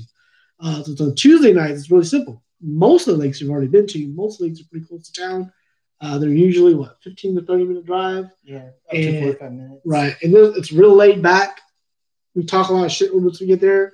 A lot of joking around, not very serious kind of environment. A very welcoming environment, a very uh, Laid back. laid back, will teach you anything you know type of environment. Or if you go to the big tournaments, they're all kind of like, hush, hush, I found something, ain't telling nobody, you know? And they don't show you lures, they don't show you anything, right? Well, Tuesday nights, you get there, there's like lures, there's line everywhere, you know? It's like, what do you want to know? Just, just check out my kayak. You know, no issues, go ahead and check it out take your first spin. You know, it's no big deal. So unless so if you're starting, get a kayak, and then just uh, a lot of uh, a lot of the bait shops they'll have this information too about what's available. So our cousin uh, Jay Hearn, that just moved here from Fresno, he used to work in a shop in I think is it Clovis? mm, I don't know. Yeah, Rod it's Rod and Guns, and they they have the scoop on like kayak tournaments and everything like that. So you go into a shop like that, mom and pop shop, and just ask him, you know, where's what do I do? Where's who's the local kayak guy I need to talk to?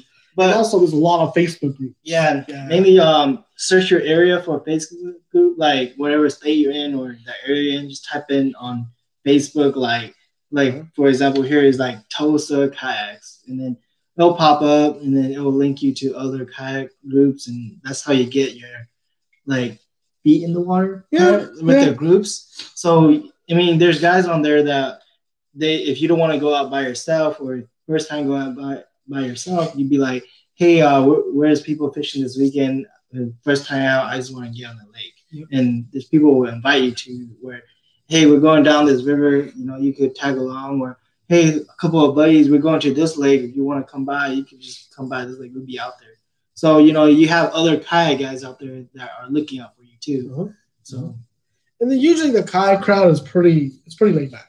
Even almost to the top tier level, it's still pretty laid back. You ask questions, they'll, they'll give you answers. There's not a lot of what we, they call dog talk, where they purposely mislead you somewhere else, you know. So the kayak crew, the Kai crew, especially the local level, it's pretty good. But don't, you know, uh, just go in with an open mind. Ask a bunch of questions, as many questions as you can, uh, and then you you'll sooner or later you're gonna get to like official rules of a tournament. And official rules of a tournament basically almost across the board, there's gonna be an official like ruler of some kind, okay? And you have to go by that ruler. No ads, if or buts about it. That's how they keep the measuring stick. I guess to regulation to regulate everybody. Yeah, from cheating. So uh, the most popular one is a Hawg Trough right now. but that's kind of Yeah. going on downhill Yeah, yeah, because you can bend it. It's kind of I don't know. That's a discussion the other day. Uh, very controversial. Uh, there's another one called the fish stick. There's another one called the Ketch board, and yeah, yeah, that's pretty much it. Oh, and life jacket. Get a life jacket. A whistle and a 360 Yeah, light. 360 light if you're fishing deep. Uh, Bryce says John boat or kayak. Okay, so that's a pretty good question. Okay, so if I'm chasing a personal best, I'm going on a kayak. Mhm. Yeah, I'm chasing a personal best, Less I'm going on a kayak. The kayak, if you turn off the fish finder and the wind blows you, oh my gosh, You catch fish. I'm talking big fish, five, six pounders under your kayak in like two foot of water. You, you will catch them. That's how crazy it is on the Like when you drift in clear water, you will see Yeah. carp around you, and they won't be speeding. Yeah. If you're just sitting, they don't even run off until Yeah. you stand. If you're standing, then they run off because they think you're like a egret or Yeah. some. But I can't I can't do that in a boat. Even though I have a little 14 foot John boat, and even if my trolling motor is on super low, as soon as you tap that trolling motor, it just all the fish just they scatter. So like if you're trying to think about it kind of like hunting too, right? If you're gonna chase a big buck, you want to be as stealthy as you can. You want that element of surprise on your side every time. So if you're gonna have to like John boat or kayak, I'm a kayak guy, man. I'm chasing big bats. Now if you're just saying we're just gonna go have fun, then John boat, John all day. Because we, we take the jo- our jumbo still go. I think this year our jumbo weight went out a lot. Yeah, Because when we went fun fishing, we're like we're, too lazy. Too lazy to pedal. So we just take the jumbo because you're like, "Ee," get there, fish, fish, nothing, ee, to the next spot, you know. Yep. So yeah, fun fishing. Yeah, and open water, open water fishing. If you're offshore graphing, it is easier on the boat too because um, I think on the kayak it kind of is. you know, From a kayak perspective, you kind of want to fish the bank. The boat, you can do everything you want. does color of Um, your kayak affect fishing? No, it doesn't. The color of the kayak. See, the Hobie started like off with ocean fishing, like Yeah. offshore fishing. So like the the bright color, like your yellow, your blue, your red, those are for ocean fishing. So like you don't get hit by a great white because if you're like in a olive green like us or a dune color, there's been um, shark it bites. could be mistaken for a sea lion. yeah, so those bright colors are to protect you from like shark bites and stuff. But yeah, kayak color doesn't matter in salt water. I mean, Yeah, we freshwater. have so many people fishing yellow kayaks, red kayaks, Mhm. blue kayaks, rainbow kayaks. Even our orange kayaks. yeah, they're our orange like- kayak is too. So it's like, I think it's more of a, I think it's a more of a thing that's in your head. That's what I personally think. I mean, you think about it, you have a even if you have a camouflage kayak, which is very popular, right? You have the Hobies that have like some swirls going. Mhm. We got like, uh, was it Feelfree? Feel Free is pretty popular for this. They do like, I don't know what they do, but it's like you take a bunch of colors and you put it in a grinder, you grind it up. That's that's their color, right? And I don't think I don't think it really matters. To be honest. Yeah. It- like I said, it really only matters in the ocean so you don't get hit by a shark or a whale or something. And the brighter the color, it helps you on the water so people could see you. Like boat boaters will see you better too if you have a bright kayak. Yeah. So what's y'all's surf rod setup for the dam? Ben, okay, so you ready for this? you asked, so we'll tell you, but okay, so for, for me, I have a I have a 11 foot Daiwa ballistic surf rod. I didn't I bought like an older older generation. Uh, I didn't like the guides on it, so I re-guided it myself to American guides. And then I have a Shimano Aero Technium. Okay, it's one of those reels that's huge, got long neck, and I have it spooled currently with 30 pound, 30 pound Max Quattro, which is a super expensive line, but it it then bombs things like there's no tomorrow. So that's my that's my down setup. That's currently what I'm doing. Do you even still fish yours? No, but my setup is still almost the same. Mine is a 13.3 uh, footer uh, Daiwa ballistic. Um, was it Saltiga ballistic? Yeah, so it's like the top model. tier. and that's Yeah. for um, the tournament guys that they do tournament casting. You know that you see them do that crazy 360. Yeah. But it, it casts as lures just like a charm. And then my reel is a uh, seven thousand um, Daiwa Basiair. Yeah, Basiair, which is like a seven hundred dollar reel, is built for surf fishing too. Yeah. So it's a surf fishing reel on a like tournament casting rod. Competition. Yeah, competition rod. And then the line running is a just a regular thirty pound Power Pro Super Slick. Right. And the 47 is not here, but I'll tell his setup, okay? His setup is a you guys see it's a lot on his on his on videos where there's a lot of dam fishing and you see 47 just smoking them. 47 throws a uh, 10 foot six TFO rod, but he has it paired with a Daiwa Saltiga reel. It's a $700 reel. By far the most expensive reel we have, okay? And he's got a 20 pound max quattro, and he he gets out because that rod just matches him very well. So he's able to get his maximum potential every time. So his 10-6 is yeah, his 10-6 is touching 11 footers and 12 footers, the casting distances. All right. Would you put a trolling motor on your kayak? Okay, so that's that's like the most controversial thing in the kayak world, like to ever hit the kayak world, right? Mm-hmm. So there's like okay, so there's like kayaks you can buy that are cheaper, like thousand to fifteen hundred. They don't come with a drive system, so you're tempted to put a motor on it. But for the kayaks that are over fifteen hundred dollars, they come with a, a pedal drive, and there is a big advantage, in my opinion, pedal drive versus traditional hand pedals, right? So depending on which lake you're doing or what you're trying to do, uh, we have run kayaks in the past. You know, when we went to we we qualified for the national championship in Tennessee, we had trolling motors on our kayaks. That lake is huge. That lake we fished uh, Kentucky Lake.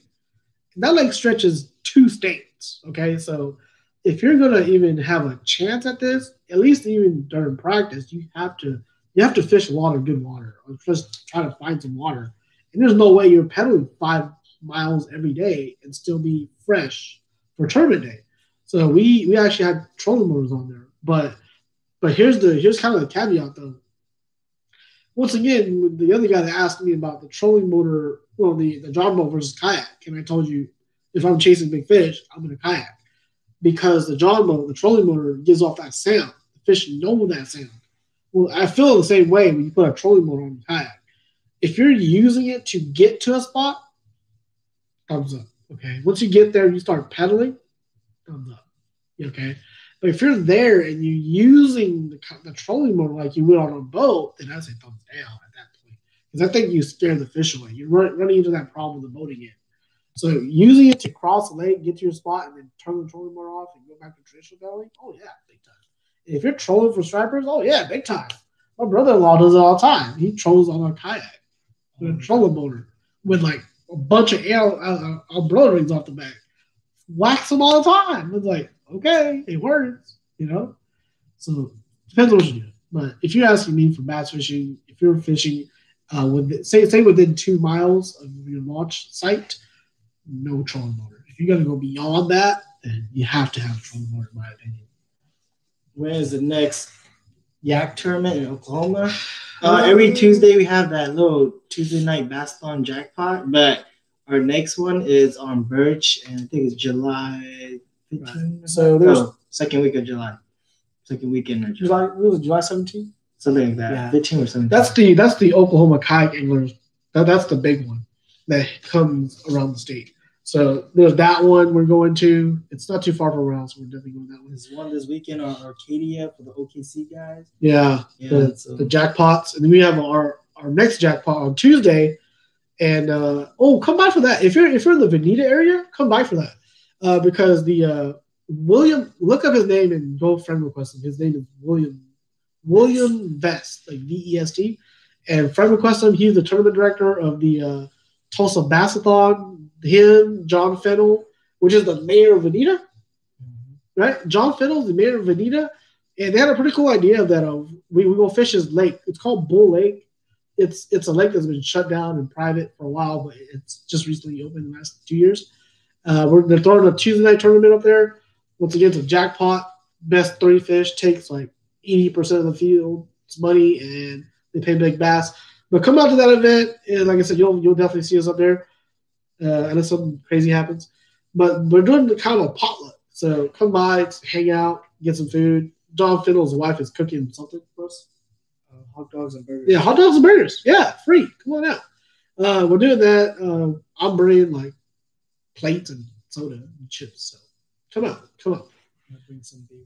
I wonder if we're gonna bring beer out there. Nah, Oh, yeah, yeah, soda. yeah, soda probably. Soda and water. Yeah, they I think they do have an alcoholic pro, pro, prohibition type thing going over there. It is a state. It's just like a city park. choose between Daiwa and Shimano. Yeah, Maxio, you can't really um do that maintenance yourself, but Yeah, but Maxio's crazy though. My Certate, I've had it for three years.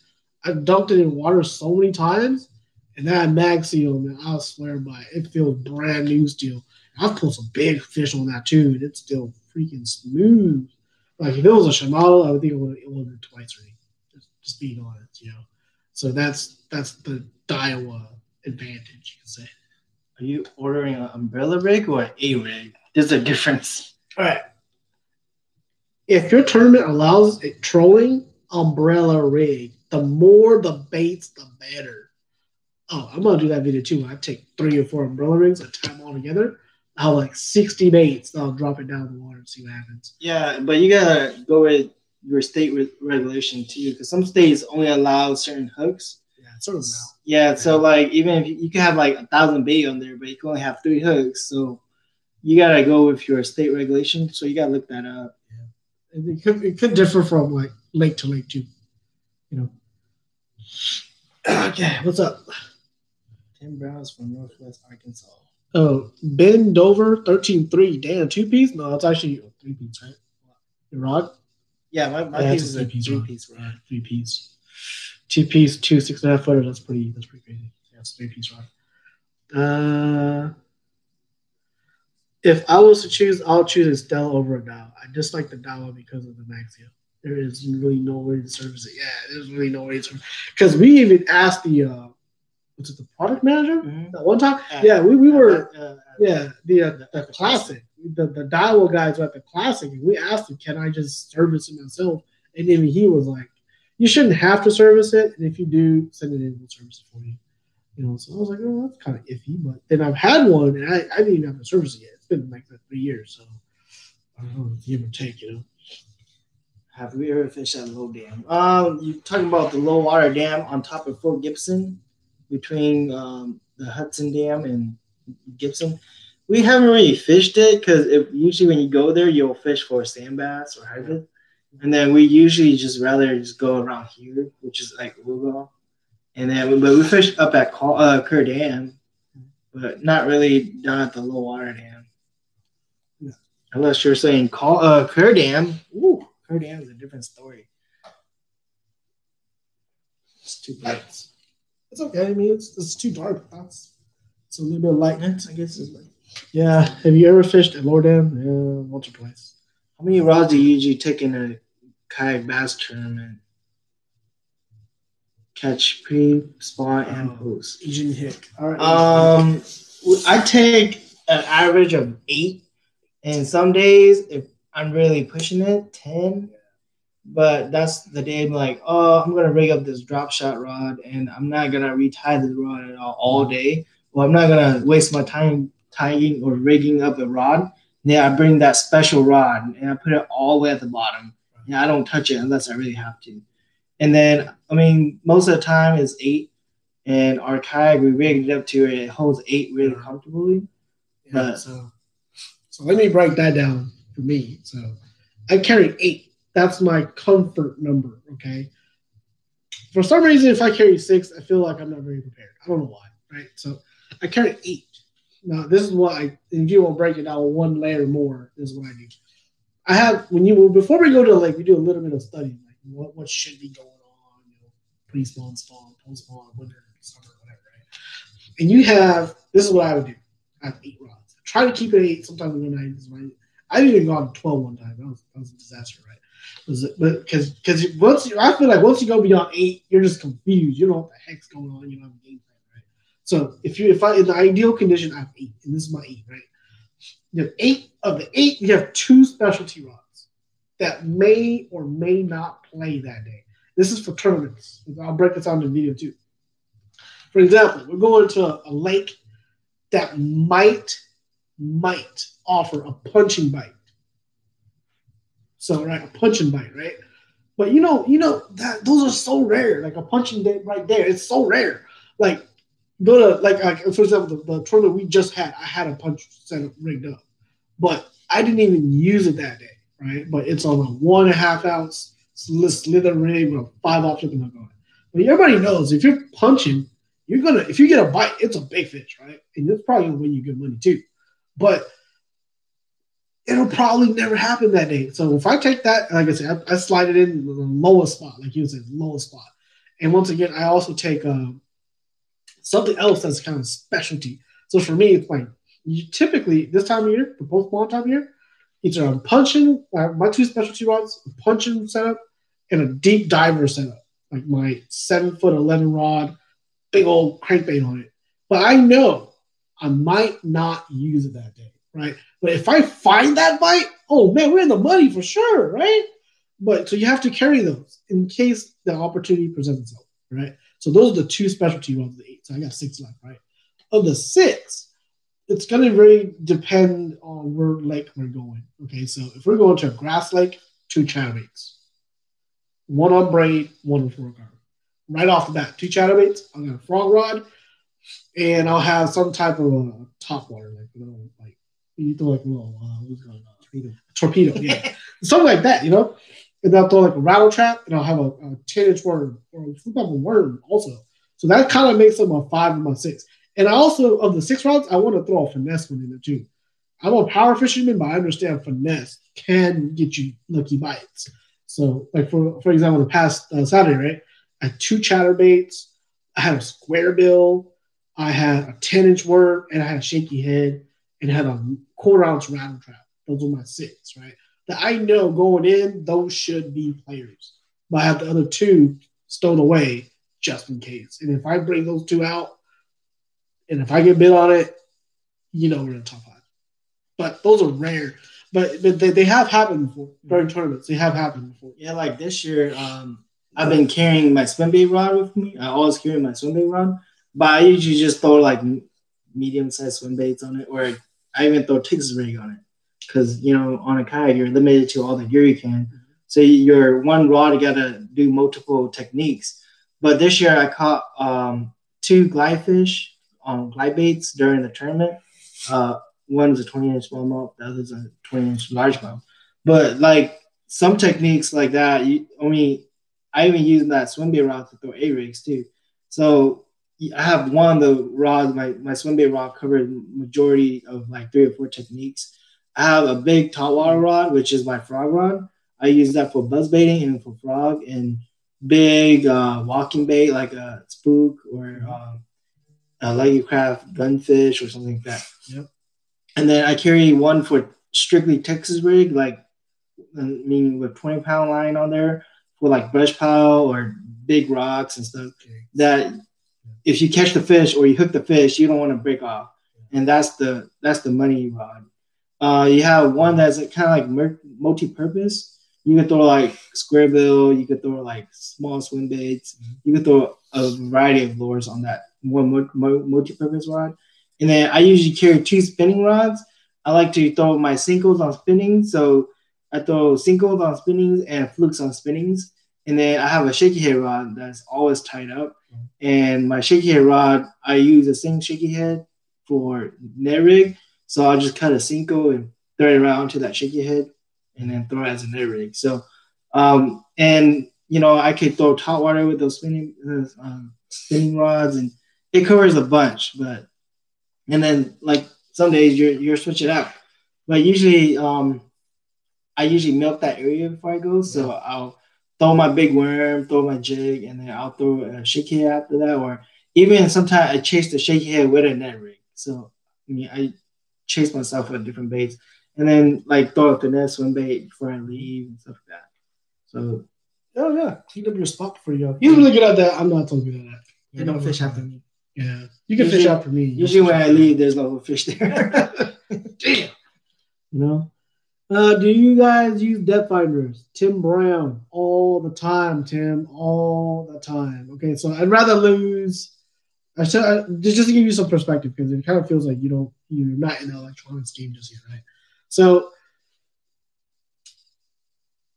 springtime, the the electronics, I think spring and fall, the electronics doesn't play let's as start. big. Let's start with winter. Oh, okay. Winter, electronics, 100%. Most of the times you're fishing deep, right? So you got to go find those offshore brush piles or offshore rock piles. And then it's not going to be less than 10 feet. Okay, it's going to be like 15, 20. So you have to have another set of eyes, right? Because that's what you got to look at like. Electronics is another set of eyes. If that rock was on the bank, everybody can see it, right? But now it's not. It's, it's 20 feet of water. So you have to find it. A lot of times, yeah, wintertime, it's fish deep. You know, find the rock piles. Sometimes you can find them suspended, especially with stripers and everything. They're even deeper. They're, they might be in open water. They might be in like, oh, they might be like 100 yards offshore, just hanging out in the middle of the water. You have to have electronics to find them. If you're a striper, white bass, that class of fish, uh, catching on a boat, I would rather lose all my fishing poles and just have one and have that fish finder. Okay. Give you an example of how important that fish finder is, is for, for certain species. Uh, for spring, they'll be pushing up for spawn. So if you're fishing like a striper or hybrid or some sort of schooling fish, they'll staging up to move up river to spawn or something like that. And you could locate them with your like your your depth finder, your side imaging and stuff. Uh, for bass, they're they're pre they're when they pre spawn they suspend, and you could target them with uh, like a LiveScope or Panoptix. That's even like some other some other day we'll probably answer that. Yeah, we don't have that question for another day. Uh, But yeah, um, Yeah. They're staging up. They're moving shallow. So once the fish are up spawning, you don't use it as much. You're using your eyes more than your fish finders. So if I'm fishing shallower than five feet, I turn my units off. And the only time I turn it on is really to check water temp. Mhm. Uh, water temperature matters a lot. Um, And sometimes you like you. Here's another tip, dude. Like if, if you're fishing for bass, if you if you if you get to an area, this is probably the only time I'll use a fish finder. Right? You get to an area, you see a bunch of beds, right? But they're all kind of you know spread out. You you go right over and this is this is only true if you have a really good external GPS. You could you could waypoint every single bed. Okay, you could waypoint it. So so say say you got there and one took off, which is the only time you'll see a fish. Took off, right? Your waypoint where is that? This is a major nugget too. I don't know why I'm giving this one. Waypoint where they're at. Go away. Just just just just leave the area. Give just 15 fish down the bank. Yeah, keep fishing like you never saw that fish. 15 minutes later, bust a U-turn, come back, look at that waypoint.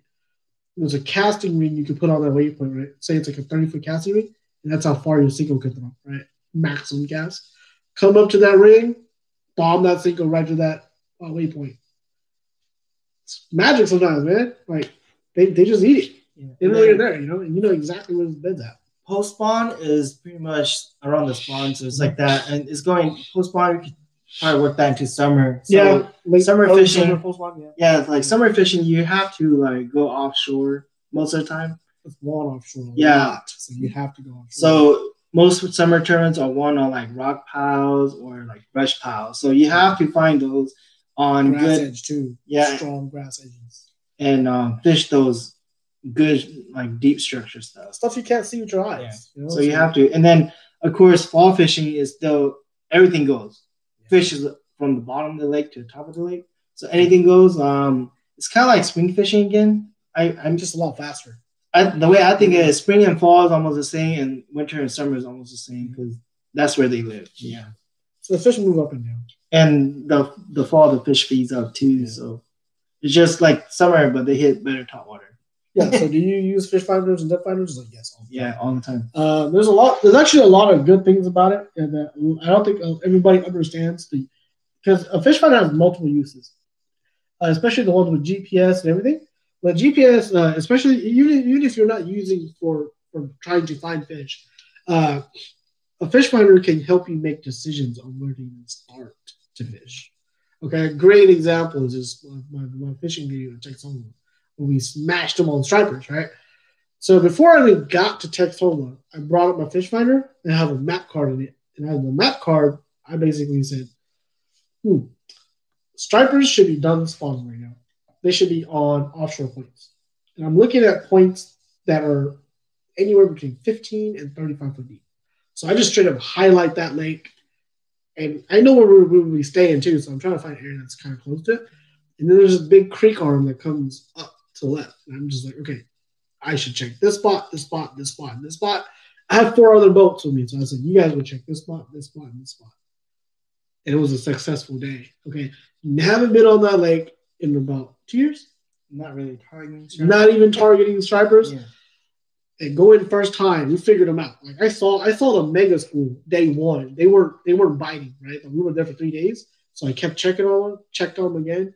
On the third night, and we're leaving the next morning, they started biting for some miraculous reason. You caught a whole bunch of stripers. So we'll check out that video too. Guys. It's called, I think it's just simply called Texas Homeless Stripers. Yeah, DS Moto said that when is a certain situation or place when flukes on jig heads work better than top water? Uh, when the water is cold Yeah. and the fish are not hitting top water, Yeah. you flukes on jig heads are better. Uh, dam fishing when they're running water. Um, sometimes that wave in that water current, the, the fish can't see that top water as good as if, if you throw a fluke on a jig head. So, and of course, if you're fishing bottom or the fish relating to the bottom, then you have to fish a fluke. Yeah, so sometimes, sometimes like you know, you, the fish just won't come up to the surface, and it, it happens all the time. Mhm. So for stripers, it's primarily if it's nice and sunny out without a single cloud. We call it bluebird days. It's hard to get a top water bite, but they might be on fire with a fluke. So you just have to, you know, you have to pick and choose. Um, if the water is really shallow, if it's less than five feet, then probably the top water work all day. But if the water is deeper than that, water is running, things like that, you know, you imagine a top water in a river system, and when the river is running, there's a lot of disturbances on the surface. Where I think if the fish are not paying attention, they might miss the top water altogether. But if the if they're willing to buy top water, top water all day, man. It's like it's it's the best show you'll ever Yeah, see. it's visual too, so you can Yeah. see when they get your bait. Yeah, and you can see how big the fish are when they hit, and it's straight fun. That's what got us so addicted to fishing, to top water fishing. You know where they're at. You can see them. I see them too. And plus with their busting shad, cast out there, see the more hits and yeah, I love that. Uh, what types of frog do you like using? Using pad frogs, popping frogs, paddle frogs. and what color? David Chang. That's a good question. So uh, when we started frog fishing, we used Spros and uh, Strike King. Strike Kings, yeah, for the most part. But I've evolved a little bit beyond that now. So I've I've started uh with if it's like a walking frog, I still like the Spros. I still like them. And if it's a popping frog, I like the Terminator frog. It's really good. Hookup ratio is extremely good. Okay, but I have to modify it. That's the that's the that's the part. There's another golden nugget for you guys. Asking all these good questions. Okay. And plus it's this video number one, too, so we're gonna let the beans out. Later videos, maybe not, right? But basically, like everybody knows a frog unmodified, you're gonna miss nine out of ten bites. Remember that? Or 50 50. 50. Well, if you got the right rod setups too, then yeah. But if you got like a traditional rod with you know like 15 pound fluorocarbon, you're gonna miss not like them. So for frog fishing, let's let's just talk gear first, right? You need a stout rod, like almost broomstick, and you to throw it on braid. No ands, ifs about it. 65 pound braid at a minimum. That's what I think. I'd throw 80. Okay. So uh, Spro, when you buy the frogs, I think you have to you know that the, the, the, the hooks are kind of bent in a little bit. You have to grab a pair of pliers and bend both hooks up and out. It helps the hookup ratio. Uh, but then you trim the length down, and then it works pretty good. Uh, in terms of colors, uh, we primarily throw white and yellow. We have black ones too, but typically we don't throw black. Uh, white, in my opinion, you will get the most amount of bites.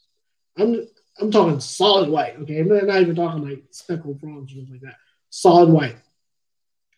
And when it comes to the yellow, the more yellow it is, the better it is. That's my opinion. If you need to break it up, take a take a sharpie and just draw some lines, like some tiny lines on the sides. That's it. So the reason behind it, right? So why yellow and why white? White is a universal bait bait fish color. You know, it can be mistaken for bluegill. It can be mistaken for shad. It can be mistaken for shiners. I mean, just keep going, right? Now the yellow. Not a lot of people talk about this, and this is kind of like just just us, you know. Yellow to me signifies bluegill. Okay, bluegills.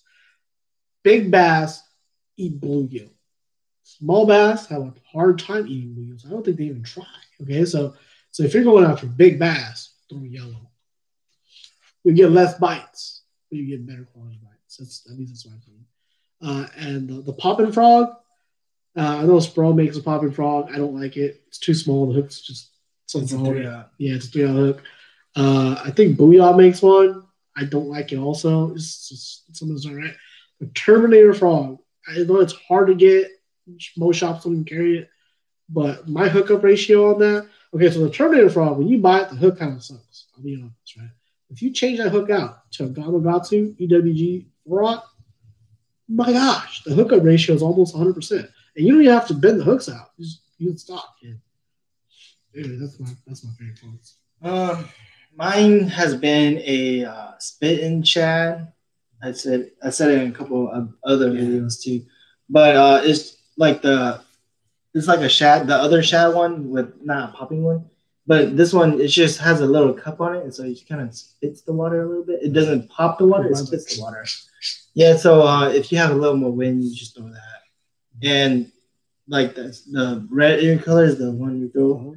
It's like yellow bottom. It has some lines and it's supposed to implement a bluegill. Yeah, weird. But then, yeah, I throw that and then mainly a white or a natural color, sometimes black, but it just depends on the day. Um, just go with the most confident color you got, or if you don't know, then throw white because white you usually get a big bite. Uh, and then if you don't get a big bite on white, then switch to black. Go totally different opposite color. Yeah. Yeah. So if you're if when in doubt, Just throw yellow. white. Or yellow. If you want a big bite, I throw white. See how opinions differ so much. Yeah, it's it's up to the the fisherman. Yeah. How do you guys fish dingy water? What lures do you guys fish? Okay. Works best for hybrids and striper. Oh, many Yeah, stars? yeah. Damn. A-rig again. I can't go wrong with A-rigs. Uh, man, I'm telling you, A-rig or brother ring, it's it's unbeatable. I mean, it's it's expensive. Don't get me wrong, it's expensive uh, to buy because you're investing. A traditional A-rig, fully rigged, you're looking twenty bucks. You know, an umbrella rig, fully rigged, it's like fifty. Okay, so. But if you're, if, it depends on what you want to do, right? If you're, if you're fishing for fun, then I don't recommend you to do it. because, in my opinion, it just seems like it's not very fun to reel in like something really heavy that doesn't even run. You know, so it's like okay, it's kind of stupid. But if you're one of the guys that's like, look, I, I, I'm wasting like ten dollars in gas already. I want a limit. You know, I got family to feed. You know, whatever your reasons are. If you if you're trying to harvest, right? Umbrella rig, yeah, umbrella rig on a boat trolling around. It's stupid. But if you're on a shore, it's not really the lure. It might be the color. So we ran into a situation when sharpers are hitting pink and nobody throws pink. So throw pink. Or Thank throw, God. or throw or, or throw uh, all chartreuse. Something different, like from the norm that I'm throwing. So yeah, sometimes not even it's not even the bait, it's just the color. So switch colors. Yeah, freaking kid caught somebody caught a striper on like uh, pink swim bait. I was like, man, what the heck? And they said it, mimics uh, squid. When do you throw a popping frog and when do you like to throw a walking frog? Oh, I actually figured that out this year, right? So I let the wind tell me. Okay, so if you look at a frog, same, it's in the both white, same color, same type, of everything, right? You let the wind tell you what to do. Okay, so and oh, and also how how you how you plan fishing. So so if you, if you see a stump over there, you you think your bite's gonna come off that stump, throw a popping frog. Because you're not you're not gonna work it all the way back to the boat. You're just trying to walk it. Like, hopefully, boom, done. You know? Well, walking like a, a traditional walking frog is more like a cover water type of frog. You know, like you have a flat, pads yeah, flat pads, grass, throw it out there, bring it back. And then also, this is where I think uh, if you're trying to cover water, you can cover water with popping frog too. But if it's windy, you need a little bit more sound, right? So you throw a popping frog. If it's dead calm, you throw a popping frog, you probably won't get bite. It, it is, it's very unnatural, you know. Especially for me, I walk it real fast too, so it's just like uh, it's not. It just doesn't work. That's when you want to throw a traditional frog and kind of walks, and you and every time you walk it, it's very it's a, it's like a like a spook. Yeah, and um, the walking the walking frog is better in like uh, heavy vegetation. Your popping frog will get hung up more, and you'll fight the frog more. So it's kind of like an arrowhead; it will just come through everything. Yeah. So that's when you switch. If you're more open water, popping, and then if you're heavy cover, like over pads, over lily pads, everything else, just throw the regular. Uh, If you, if you throw over like mush, then you want the straight head. It comes to a Yeah. Yeah, a lot better. Uh, have we used the spit and shad by Spro? Yeah, that's the one I was talking about. The spit and shad is, uh, I think, is one of the better hooker ratio from Spro Yeah. because the body of the the frog is like a keel, and then the hook sits on top of the, the Yeah, two corners. So if you look at it, it's like a triangle, and the, the hook sits on top. So if it if the bass hits it and it you know crushes anyways, uh, the hook points are already there and it will get them. So the hooker ratio on it is really good.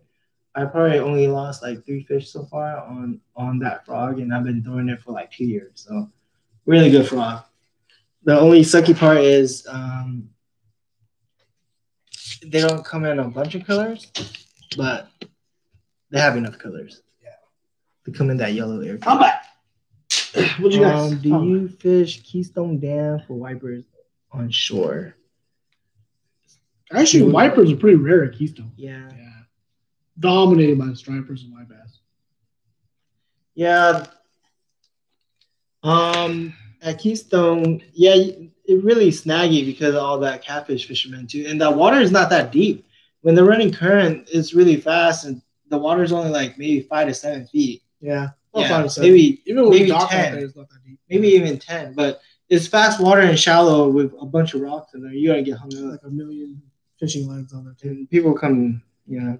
Which which fish finder is well, which fish finder brand is best in your opinion and why? Lowrance, Humminbird, or Garmin? Yeah, don't forget about Raymarine. They're in there too. Okay, so in my opinion, it's Humminbird. Okay, so if you're not sponsored by nobody, Humminbird. It is a little harder to use because they're the way the menu system is structured. The Humminbird to me feels like the old school guys. They haven't caught on to the whole like iPhone interface yet. So their interface is a little trickier to get used to. but it's a learning curve thing. Once you get over that learning curve, I feel that the technology that's in the unit, it's a lot better. Uh, I know, I don't know if this is still true, but uh, a couple years ago, Lowrance had like structure scan, right? A structure scan is basically side imaging from Humminbird, but you had to buy all this this special sensor, and it was like a whole different like amplifier looking thing. And there was like four pieces. You have to, you know, Humminbird does it all one. So so that's a big plus for Humminbird.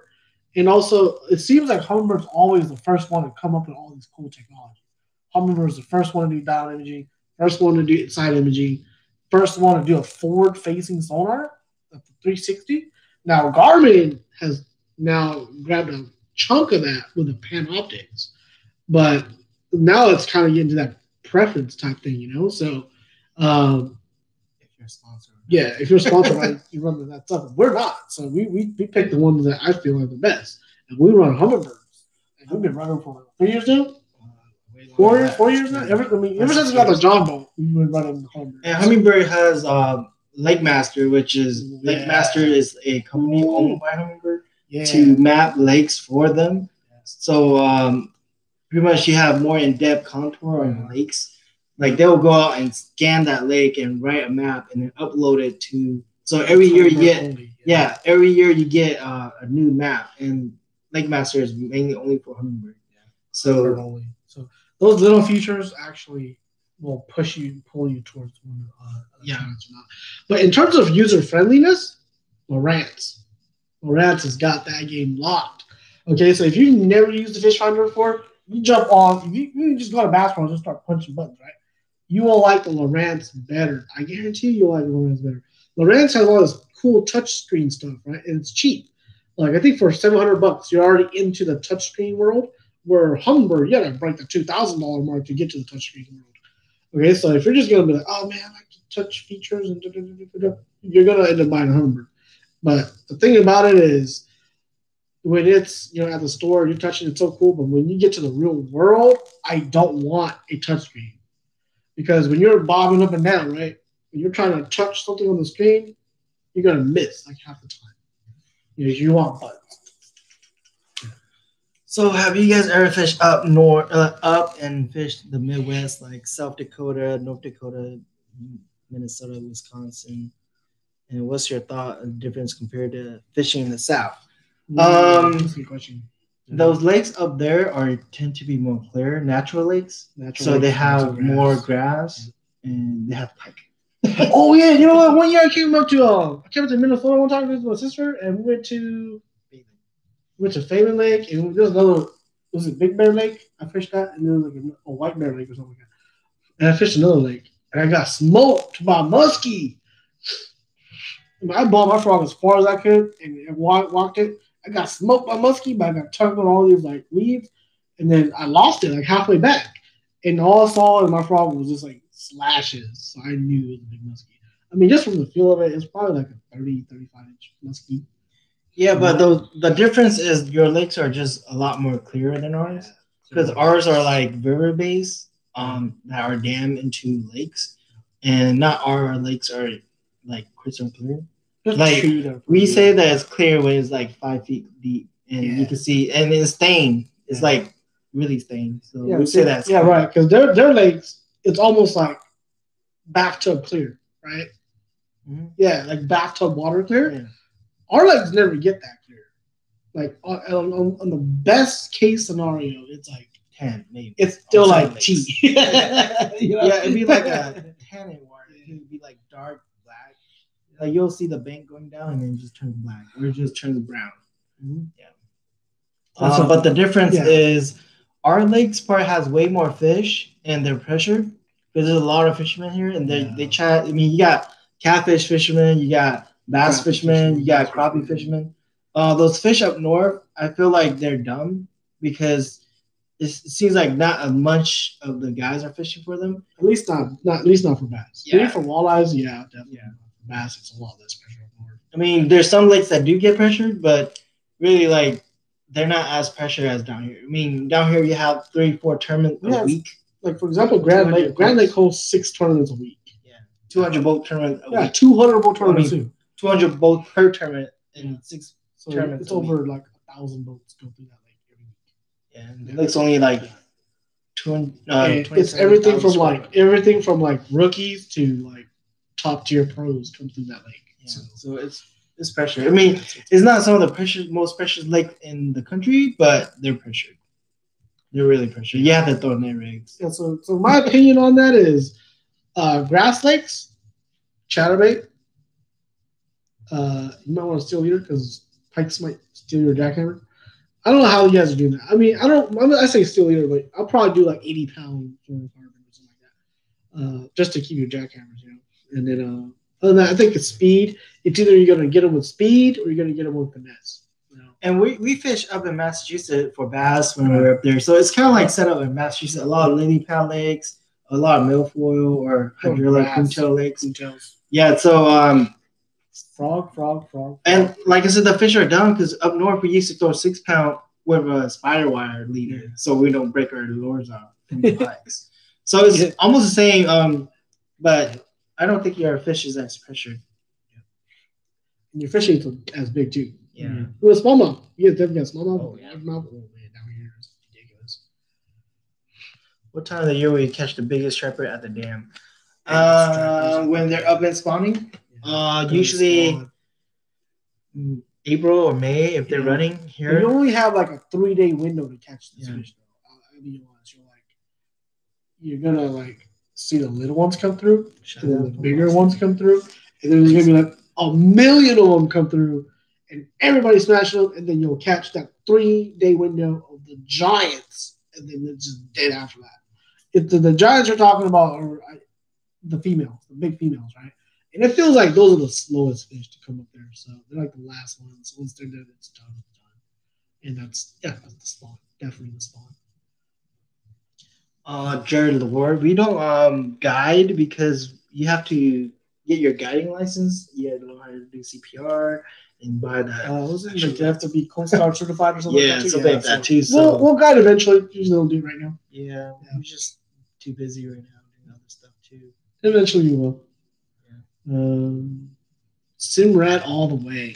Simrad's good my for the marine world. So yeah, Simrad's pretty good. Uh, Simrad and Lowrance actually same company. Did you know that? Yeah, pretty much same company. Uh, shout out from Boston from Don. Hey Don, Boston. We lived there for like ten years. Well, we lived in Fitchburg. Yeah, ten years up in New England. You guys throw Uh, big swim baits by any chance? Just curious. Uh, we've been trying to throw some big baits. Five five nine, huh? That was. Uh, yeah, um, some glides. I do some S-Wavers, and you don't. yeah, we have HUDs, but yeah, you don't want to donate it to a guard. Yeah, we have too many fish here that will eat a freaking Huddleston, like two feet critters. You know, like you, the guys up north will understand. You throw a Huddleston in the north, freaking mosquito just chop the tail off. You know, Yeah, Yeah. it's not like California when you only have bass Or stripers. or stripers, Yeah. but most of them are just largemouth and maybe spots, and maybe maybe here and there be some smallmouth. But your lakes only have mainly largemouth is the predominant like predator fish. Yeah, Our lakes has hybrid, striper, white bass. big old Yeah, catfish. They go three different kinds of catfish: catfish. flatheads, blue cat, alligator alligator. gar. You have gars. Yeah, which basically is like an alligator's mouth with teeth like that. Yeah, you got drum that are dumb that will eat everything. Um, you have a whole bunch of invasive species are carp that you could get hooked up on. Yeah. And there's fish everywhere. You can't just go to a point and just throw out a big swim bait and roll it back. Um, you go throw it at a point and there's a bunch of carp. You, you probably mark it on your down imaging. You think they're bass, but they're probably just carp or drum. And There's a lot of fish. I mean, it- it works. the big baits here works. It's just uh you go throw it for a couple like hours and you don't get bit, and you go throw shaky heads and you get bit. And plus, our water are not as clear to throw big swim baits. Right. So It's tough to throw big swim baits. Big swim baits, from what I understand, is more for rock lakes and rock deep lakes, right? So for, for the most part, our our lakes we only have like two that are deep rock lakes. The majority of our other lakes are like I'll give you an example. You're not going to want to throw the Huddleston, right? We have a lake that's fifty percent covered in timber. Yeah, you throw that thing in there, you're stuck first cast, break off 20 dollars. So a lot of people will throw like a swim jig or they'll throw on something else. But maybe put a big plastic on the back, you know, so that they imitate a big big profile. Uh, but but yeah, you know, we don't we don't throw too much here. I do know through just like private groups kind of deal that they they do buy Huddlestons there, but it's like no one talks about it like they do out out, out west where oh yeah this tournament was won on a Huddleston or a glide bait or something like that. If you look at this place, it's like most of our tournaments, especially the ones that we know of that are published, uh, majority of them crankbaits, spinner baits, jigs. Always the three oldest ones are still the three most dominant ones, you know. Uh, I mean, chatterbait too, but you know, for the most part, if you look at the, the finishes, if they do disclose what they're throwing, it's usually jig, spinner baits, you know, traditional old school stuff. Uh, best fluorocarbon brand do you use. We are big into Sunline. Yeah, and we throw a lot of FC Sniper. But I have to throw some shooter FC, uh, some shooter. Man, they're, they're just the best, but they're expensive on the, the wallet. So only tournament day. Sometime if I know that hey, I'm gonna use 20 pound and it really comes down to 20 pounds to win this tournament, I'll order a pack of shooter just for that tournament. Yeah, so we get that question once in a while too, and then uh, so so so we get this question, and my answer is like, okay, if you have one rod, right, just one rod, buy shooter. It is expensive. It's forty dollars for 150 yards, right? 140, yeah. Yeah, it's ridiculous. It's like 40 bucks, you know. If you have one rod, yeah, that's the best. In my opinion, that is the best. It's the the the, the Tatsu, these Tatsu, Mm-hmm. Tatsu's right there too. CR Tatsu, this thing is pretty good too. I've never actually used it, but people that use both, they say it's pretty much almost the same. Uh, Tatsu is just well, the, the sometimes a little more stiff. But it's like it's, it's up to you. But for us, we, we, run, we run tournaments, so we need we need a good line that we can afford. Meaning, we need what A bunch of like we need we go through like twelve hundred yards of line every three weeks on average, right? So you need you need to stock up on ten pound, twelve pound, sixteen, and twenty. So we got four spools of twelve hundred. Yeah, twelve hundred yard lines, and we spool them every every major tournament. We would spool them every before. So you know that's that's stacking a lot of money. We have to spool so many rods, and it's not like we fish a twelve pound line all the time. So, for example, if I'm on a crankbait setup, take that reel, I'm, I'll spool on 12 pound. But if I'm gonna take that reel and I'm gonna flip and punch now, pull that off, put braid on there, and that, and once I pull it off, like from a tournament perspective, I don't want to reuse that line. Like in my opinion, that line is used and now it's weak. And fluorocarbon is is really bad at that. I don't, I don't if and if you if all the other guys will chime in on this and have a lot of fluorocarbon experience, I feel that fluorocarbon after five trips, it becomes brittle. Like it Mhm. becomes brittle. Has a lot Yeah. of memory. Memory and from the uh the sunlight just hitting it, it becomes brittle. So if you have 20 pound line, it now becomes like 16. And you're like, heck man, this is stupid. You I need to go fish braid the whole time. Well, yeah, you do, probably. Uh, so that's why I'm experimenting with a braid to fluoro leader now on, on the big side, like a like a 50 pound braid to like a 20, 25 pound fluoro leader. Uh, so, but yeah, to answer your question, uh, I've been, I, I had that same question too. Uh, when I first started fishing bass, uh, I, I, I experimented. I bought all all levels of sunline. I bought the the regular sunline fluorocarbon that was only like 15 bucks for the 150 yards. I bought the sunline um, FC Sniper. We bought the what was that reaction one, the purple Mhm. one, the reaction one Discontinued. discontinued. It's a good line. It's, abrasion sucks on it, but for jerk baits, it's awesome. And then I bought the flipping FC. That thing is that line is crazy good, but it's super stiff, so super stiff. And then we bought we played with uh, shooter, but it's so expensive. It's like I didn't want to talk about it. Out Yeah, day. Yeah, only tournament day type stuff. Tournament It's like your. Megabass 110. You only throw on tournament day, you know. Uh, and then I played with uh, Bass Pro Shops XPS. I've played with uh, AbrazX and InvizX. I played with Red Label. That stuff is garbage. Don't buy it. I mean, it's not bad. If you if, if your line never touches anything, Red Label is just fine. Okay, but the abrasion is so bad. Like I took a crankbait out and I was throwing it on my FC 10 pound sunline, and I cranked like 20 casts, and the sun the line's still decent. You can see the cracks in the line, but it's still like you could catch a like a decent sized fish on it, and you can still get in. And I, I threw that same setup on Red Label, and three casts in, I grabbed my lure and I just pulled the line and snap. Abrasion is not good on Red Label. It is the cheapest fluorocarbon you can get, by the way. It's only like I think it's like ten bucks for hundred yards. Yeah, yeah, it's cheap.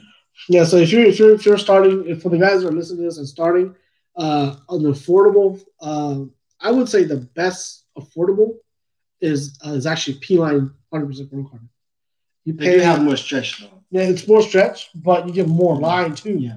I think it's I think it's like seventeen dollars. You get two hundred yards instead of one fifty at twenty dollars. So it's a good starter line to start with. That's what I recommend on fluorocarbon. But top tier, we're we're we're we're Sunline guys. You know, one and another reason for that is uh fluorocarbon. Once if you if you throw it on a bait caster and you backlash it, it gets that kink in it, right? And that's the killer of fluorocarbon. Like that's the reason why I left all those other brands. When you get a kink in it and you pull it back, the FC Sniper survives it like a lot better than the other brands. Like Red Label, if you get a kink, you pull it back, you just you just pull it, it just snaps. It's like it's really brittle. Yeah, it's really real we can't bend it. Yeah, it's try not to bend it Yeah. at, all, co- on all, at all costs, basically. Uh, lock strength is a lot better on the FC Sniper too. That's one of the reasons why I just decided to just standardize on that. Been running it for what, three years. Yeah, FC Sniper. Yeah. So the 20 pound has got us through a lot, and the 12 pound, I landed my personal best on 12 pounds, so I have a lot of confidence on 12. Yep.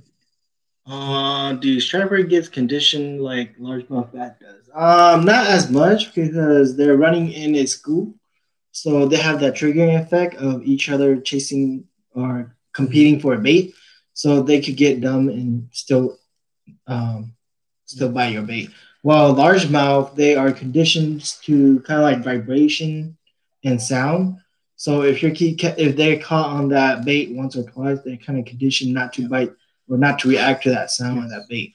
So over over a long period of time, those big largemouth, they're they Yeah. seen everything, they know everything, and they only want to eat either really big bait or actual live bait. Yeah.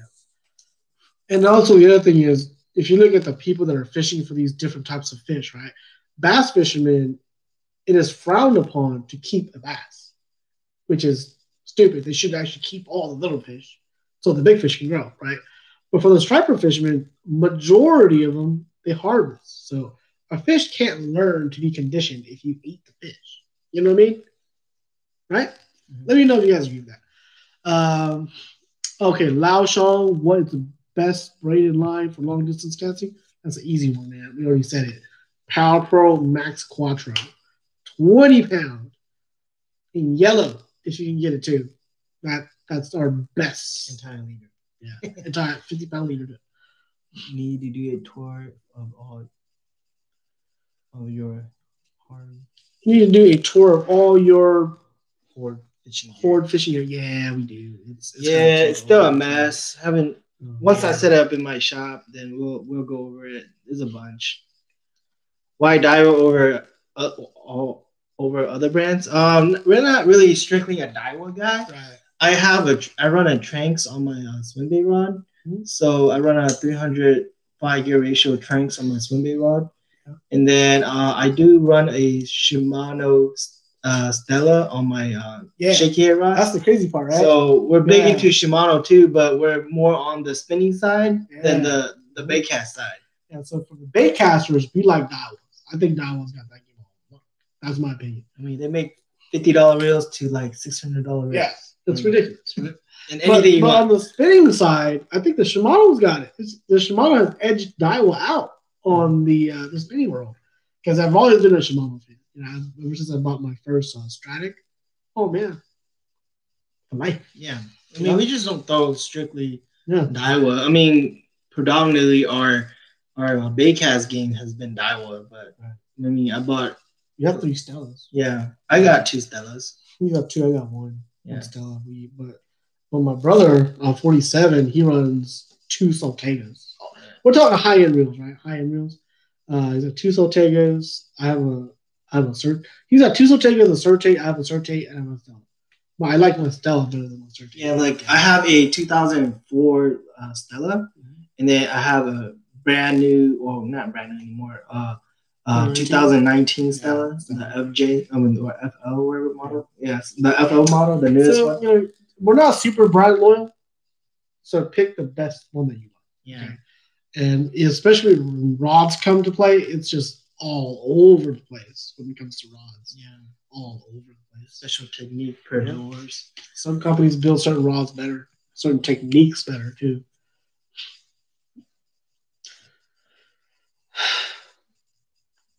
on uh, those stripers in those in like two feet of water, those big stripers are super smart too, just like bass. I mean, they've seen everything at them too. And then those big stripers, they tend to maybe feed at night or they're only eating a certain bait. So they're more key in on a bait or you're just not hitting their um like not catching them at the window. Big striper, we usually catch them at night. You don't catch big striper during the day because they Very I think they feed predominantly at night, and stripers are more active at night than in the day too. That's why right when the sun rises, they usually feed, and then when when the sun's up, they don't feed unless there's a good current running or something. But then they'll feed right before dark, and then if you could figure the night bite out, that's where you catch the biggest striper. The logo said it doesn't bite.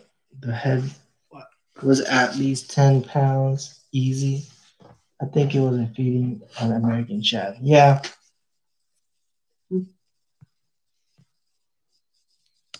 Daiwa SP Minnow would hit in these Oklahoma rivers. Yeah, we throw SP Minnows uh, on Sooner. I caught fish on SP Minnow on Sooner. Um, we threw them at even like bombers. It's almost like a yeah, just another jerk bait. We caught them at down at Keystone when the water's off. It's just you just got to go out and try it. You, it- sometimes Try not to get stuck on rocks. yeah, most of the time you're just thinking that bait's too big, but you're not throwing it. But they do they do hit it. You just gotta spend enough time. Uh, one of the buddy James, he goes to Eufaula and throw that SP Minnow like five six years ago and and smash those stripers out there. So. Mhm. Use a Whopper Plopper or Berkley Choppo. You know, I've never That's bought a colored. Choppo, but I've got I've got like a ton of confidence in the Whopper Plopper though. I've, I've done so well. I qualified for the national championship on a Whopper Plopper. That's how much confidence I have on it. Uh, but Whopper Plopper, my favorite color is one of the original colors, man. Blue blood, chuck your lines, fast as you can. Smallmouth stripers, they smash it. Uh, I heard good reviews on their Berkley Choppo, uh, and they're you could get at Walmart. Yeah, yeah, what more is? Yeah, yeah, so the, that's the only good thing about the Berkley Choppo. Um, the thing about Whopper Plopper now is that their tails are not as hard as the original Whopper Plopper that came out, and the noise is less or something. it doesn't thump as hard. Yeah, or something like that. But hey, if you're thinking that hard into it, you're probably Yeah, that's the other thing about fishing too. Is don't make it too too hard because you're you're diving into like the little nitpicking type stuff anymore. And I don't think majority of the times, I mean, given certain situations, it does matter, but majority of the times it doesn't matter. You know, if you're trying to pick between like a slight change in the pitch of the sound, it's more of one of those things where if you if you've been smashing them and you know the school's still there, the school's not catching them or not biting no more, then you change it up a little bit. Other than that, you know, it's just like, no, no, throw a fluke. Yeah, You know? you're just not around them. yeah, he's not around them too. That's the other thing too. Because typically stripers are very aggressive, right? Stripers, smallmouth, especially, very aggressive. If they're in the area, they will show themselves. You know, it's not you shouldn't have to work too hard for them. Uh, what's the average cost of out of town yak tournament trip? Oh, It's it's not bad. Mainly it's just gas and food. Gas and food. Well, we don't we don't sleep there. That's the Yeah, thing, we don't wake sleep. up early and drive there. So your gas, your truck, or your vehicle might be like fifty bucks, maybe forty bucks. Uh, to get Yeah. there and back, maybe you know forty bucks Yeah, you put it right at forty dollars for gas, and then uh, food Tournament Twenty fees only like fifty bucks. tournaments. 55 bucks. Just give it fifty bucks. So yeah, that's and your food is probably like thirty bucks. paying tolls, maybe another ten dollars. Thirty for breakfast with energy drink, and then maybe 30, Yeah. 25, 30 at Yep. fast food coming back. So it's not that much. It's way better than pumping a boat, a hundred bucks, and then Yeah, see, that's the other thing too. 100 But like boat tournaments versus kayak tournaments, right? Uh, a boat tournament, I can tell you right off the bat, you you got a you got a big truck, you got to fill up, you got a boat, you got to fill up, right? So you're probably doing like at least thirty gallons for those two. Thirty gallons at two dollars a piece. sixty dollars. Sixty dollars. You're not even on the you're not even on the water yet. Okay, so then you look at tournament fees and all those other. In a boat, I'm, I'm I'm estimating like you're well over 150 before you even start fishing. So that's why we haven't gone there. yet, You know, eventually we will. Uh yes, we are brothers. He's the oldest, 47 is the middle brother, and I'm the youngest. Enjoy watching videos. Uh, Five five nine. Keep doing what you guys are doing. Enjoy watching the videos. Thanks, man. Put a lot of effort into this channel. Yeah. Mm, hey, talking about shakehead, what rod do you like? I prefer to stay around 150 to 200. Is that dollars? is that complete or just the rod? Oh, that's probably just the rod, right? um, Yeah, he's talking about the rod. Uh, our rods are fairly cheap. Actually, no, actually, my rod's pretty expensive. I bought a uh expert rod, which is like 230, but I don't really like that expert rod as much as my TFO rod that I just bought, and it's only 100 bucks, so Really? or 170, but eBay bidding. Yeah, we'll do another video on that too, on the whole eBay bidding and how you can get good items for like half price. So, so I'm I'm on my shaky head rod. I'm not much of a shaky head guy, but if I do throw it, then I throw it on a. It's a seven foot IMX. It's a Loomis IMX. I bought it for 150 bucks. It's it retails for I think it's like 295 or something like that.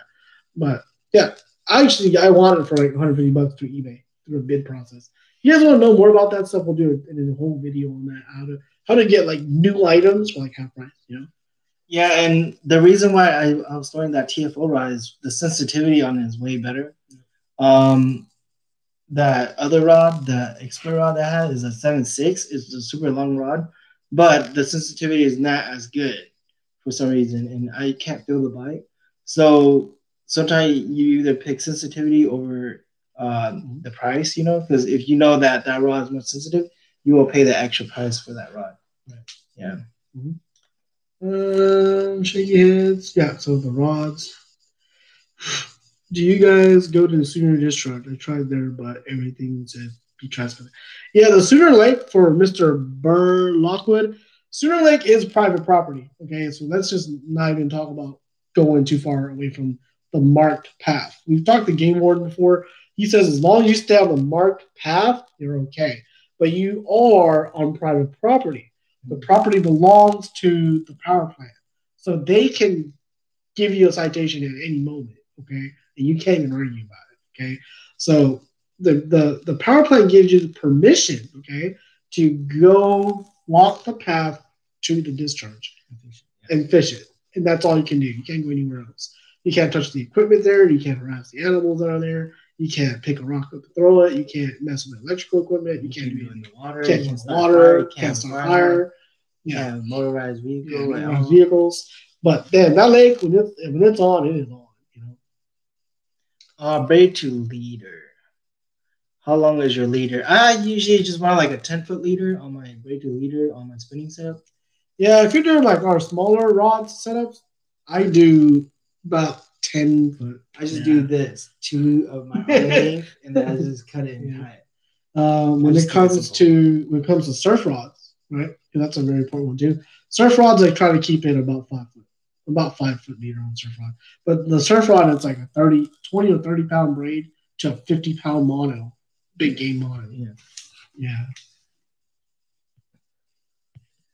Uh, braid to leader. Do you ever uh, let your connection not go through your guys and when you throw? Yeah. Yeah, most of the time, just don't let it go into your reel. I usually have it in my guide somewhere, and when I throw it, it just comes out fine. Right. We tie the FG knot, FG knot. so It uh, comes through smooth. yeah, it comes through smooth. Yeah, So no, you don't- no worries about it. Uh, the other knots, when it comes through, it could go. and the, the trick is don't buy micro guides if you plan to on your spinning setup. Don't buy micro guides or semi micro. Just buy regular guides because if you're doing that uh, micro guide setup, you gotta go straight for you can't do mi- uh, like braid to leader. Uh, let's see. biggest Uh. striper that we have caught. Um, 42 inches on freshwater, and then the one that are running up the river is about 40 inches. Mhm. Probably around about that 20, 23, 24, 25 pound class fish. Chris A says you want a really fast tip, right? Uh, kind Oh, of. it depends on what you do. Mainly it's Depends like medium, you heavy, like a medium heavy. Yeah. I, like for me, I like everything more stiff, so I throw everything more stiff because I like to pull the fish up, and I believe that if the fish is hooked good, it's not gonna come off. If the fish is hooked bad, no matter what you have, it's gonna come off. So, and I like to boat flip my fish, even on spinning rod. I most of the time when I throw a shaky head, it's like on, um, it's on a heavier line, like ten, not sometimes ten, mainly it's twelve and fourteen. I tend to throw it on fourteen because our water is not super clear. So when I hook a fish, if it's under like three or four pounds, I'm boat flipping it. And the other thing, I think, I think he's talking about rod action too. So I'll mention that a little bit. I don't want to get too in depth because that's a whole that's a whole session we get into too. But typically, if you're talking fast action, it's a it, it's it's the, the rod is faster to spring back to straight, right? So what I what I prefer is if I have to impart action to the lure, meaning you know top water you have to, so the Lord can do this. Then I want a fast action, right? Now if it's a Lord that I'm just straight reeling, then I actually don't want a fast action. I want a slow action because uh because you don't need it. Is what it boils down to. Especially with uh, lures with crankbaits, when on lures with treble hooks. Uh, that's at least that's what we've learned in the bass world. In the striper world, they don't seem to care, but in the in the bass world, uh, if you're reeling something and the bass has to come and get it, it's better to have a slow tip. So that way, you're still reeling it and then the rod loads, which means it gives the, the bass enough time to open its mouth and suck in the lure. Okay, so that that is important. That the differences between that is uh, a fish being hooked right on the lips or the fish hooked inside the mouth. And you always want inside the mouth every time you can get it. But the, the fast action is actually better on the surf world if you're going to whip something really far out because that's what the fast action is designed to do. When you when you power cast, you want that whip to come back quick. Okay, so so there's a pro and cons of the. Yeah, and the reason for the tip for me is because I don't like a limber rod because um, most of the time I'm throwing a single hook that is like a two aught or a one aught. So I want to drive that hook in. And if I go any lighter, then it's kind of like my drop shot rod that I keep losing fish on. It's super parabolic, but it's made for open. It's made for open like hook drop shot. So if I do like a like a Texas rig, then I'm gonna lose that fish. Or if I throw a shaky head on it, I'm gonna lose that fish. I mean, I throw swim bait like finesse quarter ounce heads on my drop shot rod, and I still lose fish. So it just depends on your raw action to your hook. So if I'm on a two aught or something on my shaky head or size two hook, Mhm. I want to drive that hook. And when I catch that fish, I know that fish is not gonna straighten my hook because it's not in the rod that lets the fish straighten the hook. is about your drag. So as soon as I hook my fish, I open my drag, and I'll, I'll fight the fish with my drag instead of letting the rod fight the fish. I open my drag looser than it needs to be. So if the fish just tugs, the drag is already spinning because, um, you know, if you have a good drag system like on a on a Stella, then or a- you know, it's it's gonna scream. So, and you can control it like every. I mean, it It's very sensitive. yeah, every really sensitive. Every little pull, it, it will turn. So, and then I'll keep it loose. I'll just put my finger on the spool, pull up, reel my slack, and finger the spool again like this. Hold the spool down, pull the fish up, and reel my the slack in again. So it's it comes from our surf surf reel uh, fishing too. Yeah. So the fish run, just let it run. But if the fish stops running, then you want to hold the spool so it doesn't spin anymore, and you pull the pump the fish up and reel it in. Uh, what kind of knots do you tie for the jig, hook, and crankbait? Uh, the knots to me is not dependent on the lure; it is dependent on the line you're using. Okay, so for me, um, if I'm using braid, I, I tie a uni knot, a double uni knot, right? For this guy, a uni knot. If it's braid, it's uni knot. If it's monofilament, it's uni knot. It doesn't matter if it's a jig, top water, swim bait, crankbait. That's what it is. Uh, but If it's fluorocarbon, then I tie an improved clinch knot. And the reason for that is I used to tie uni knots and Palomar knots and all that stuff, but I would, but the knots would fail on fluorocarbon. So for me, I had to, I had to, I had to like learn another knot just for that line. But now it's for our setups, it's eighty percent fluorocarbon. So uh, that's what I throw. I know you throw like you improve. No, I just throw my the, the uni knot I throw Yeah. most of the time. Like pretty much. Yeah. The trick is when you throw on fluorocarbon, you just gotta wet your line so it doesn't burn your line when you cinch it down. So if you just wet it good and tie it good, I mean, if you tie one a knot consistent and it doesn't break on you, then you just go with it all the time. So Denison Dam's not producing any, but yeah, usually the dams, uh, if if you get the dams, the success of a dam is directly related to how much water they're flowing out. So if you if you look at past history and things like that, the best fishing years are always the years where the floodgates are on for like a month, right? And it's like astronomically high water levels and all that stuff. So this year, I guess Texoma's not pulling too much water. Even our lakes are not pulling that much water. So Arkansas has been running. yeah, so that's why the striper dam fishing hasn't been very very good. But if you're fishing Denison, man, hit the lake. If you have the lake, if you have a, a boat, that place is awesome. It's infested with stripers up there. Okay, so uh, what program do you guys use to edit your videos, and who edits your videos? Um, I edit maybe eighty-five percent of the videos, uh, and how you can tell if, is if uh, if it's edited by me or edited by forty-seven is if you look at a video, it's got all this cool, nice music and fade in, fade out, and all that stuff. That's 47. 47 is really good at it. Uh, he, was- he's an art student. He used to do a lot of stuff. He got a bunch of art awards and stuff like that. So he's really good at it. He's really meticulous at it. He balances sound, audio, video, light, everything. If you just see like cut and paste type stuff, then more likely that's me. Or me. Oh, this guy. We're not. We're not. We're not. We're we're more anglers. We're not really uh, editors. Uh, 47 is a really good editor. But anyways, it's getting kind of late, guys. So uh, if, let's try to finish it up. Uh, we're going on two hours and 30 minutes here. So uh, get in your final questions. I know there's about 14 of you guys left.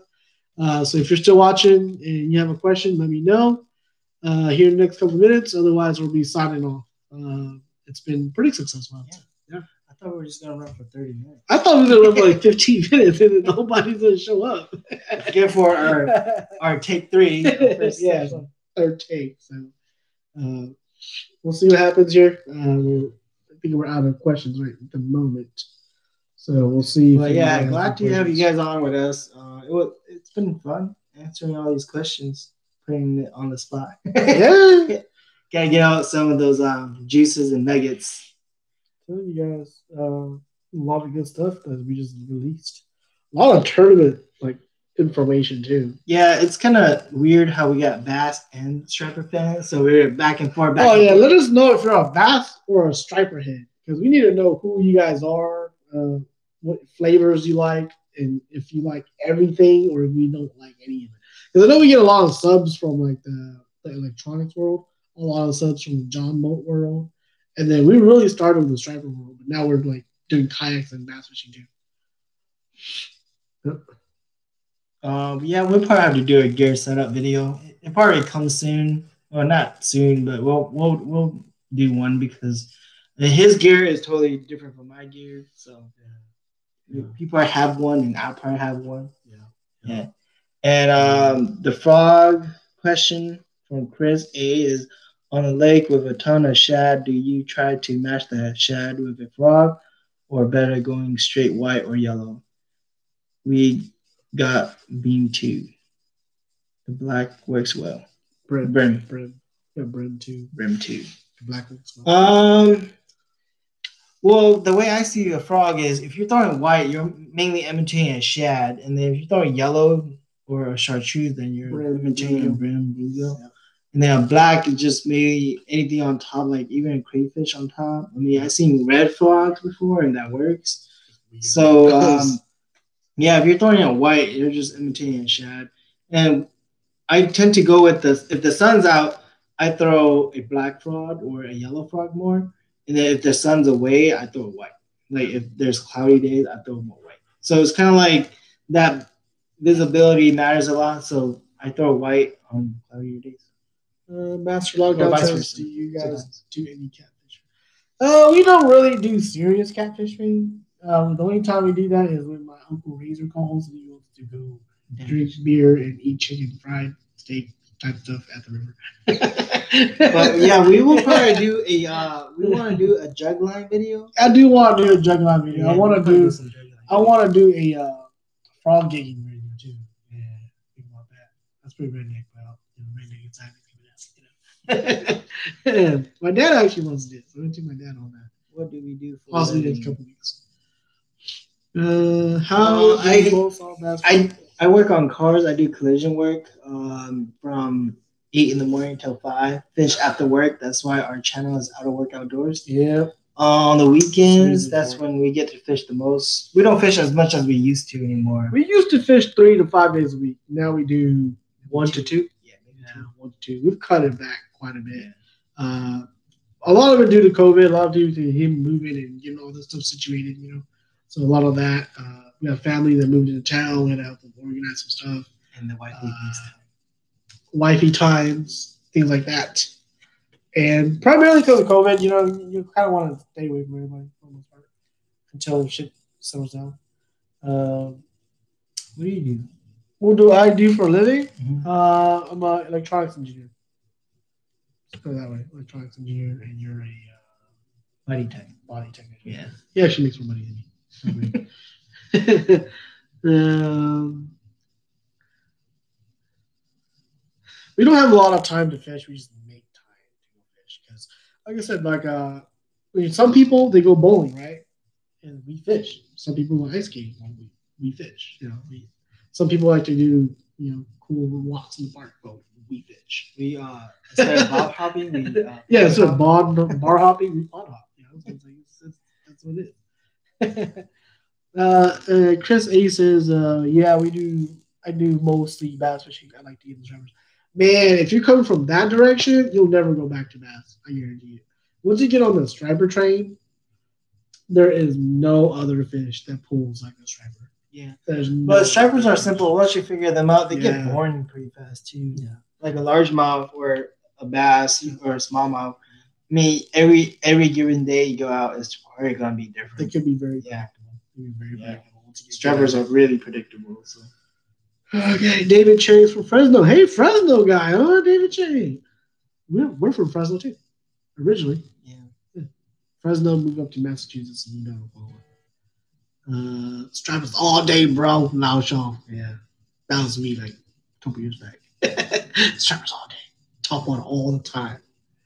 Uh, my Alejandro says my goal for the summer is to catch my first striper at Keystone Dam. Man, I never got one. Uh, laugh my ass off. You guys go cast and pull one, pull one all the time. It makes it seem so easy. Yeah. So so Keystone, we fished it quite a bit. We, well, we've, been, we've been fishing for a while. But the first the first two years I ever fished Keystone, I never. Yeah, it, it was tough until you actually find Okay, so unless you figure out that little niche, what they like to do. Okay, so I'll give you Alejandro. I'll give you a nugget, right? Just for you. Wait till the hottest summer day, hottest summer day, right? Wait till the hottest. I'm talking 106 degrees out, right? Wait till the water's generating, right? And then wait till the water shuts off. Okay, and you have to give it some time. Don't go in the water yet, but wait till the water shuts off wait until you see the stripers busting the shad. There's going to be a moment between July and August when this is going to happen, right? Go out there, throw your favorite topwater lure where it's busting. When the water shuts off and then in the towards the back, there are all these pools that kind of form when the water goes out and goes away, right? All these pools that are formed. And there's like a hundred stripers out there. And you you cannot go wrong. You you won't catch your first striper. Guaranteed. That's how we started. That's how we started. Yeah, we still have that video too somewhere. it's on the YouTube channel somewhere. we don't do it much. We You used don't do it much anymore. Yeah. Not much anymore. Uh, let's see. What's got? Um, there's not too many here, but there's a few. Yeah.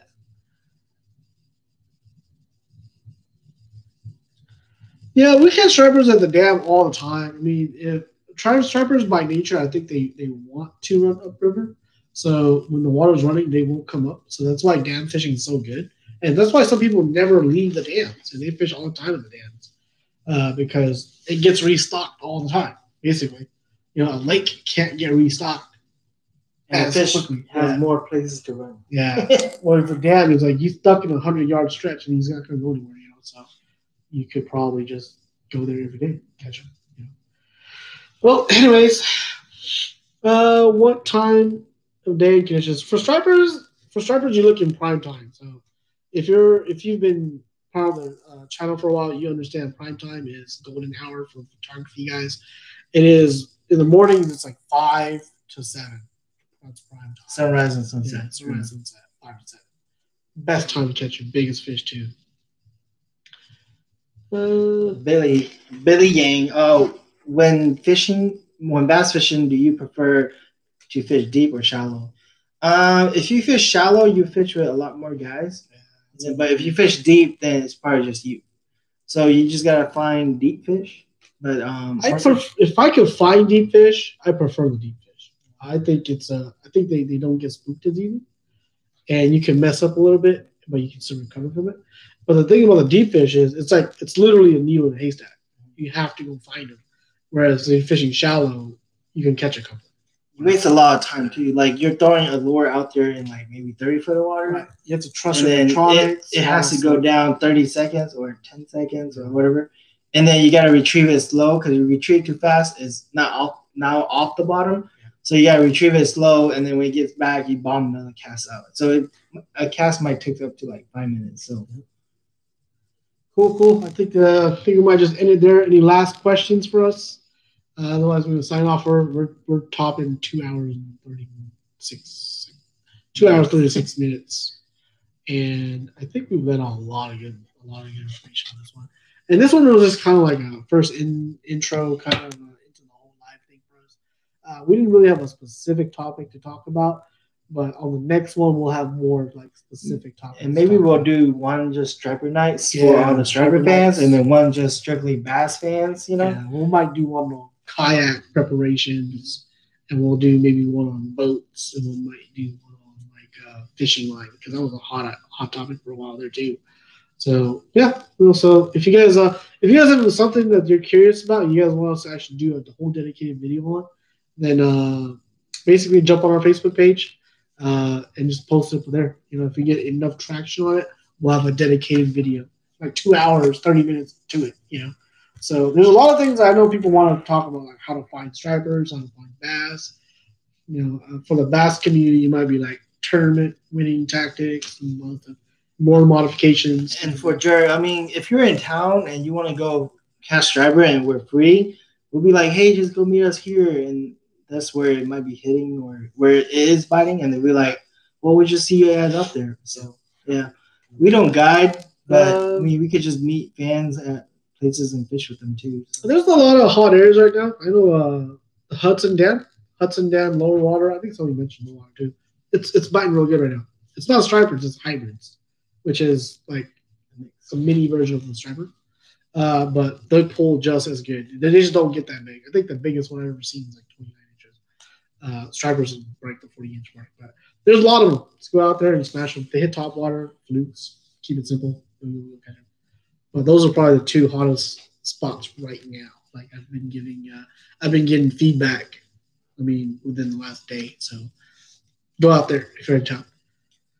Uh, Lao Xiong said you are fishing at the dam and you catching striper. What is your favorite lure to use?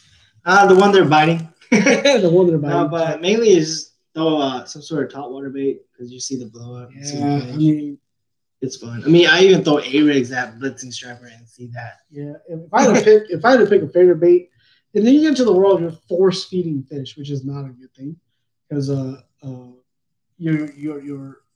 For me, it's top water. Okay, so throw a big top water, striper smashes it. It's the best thing in the world.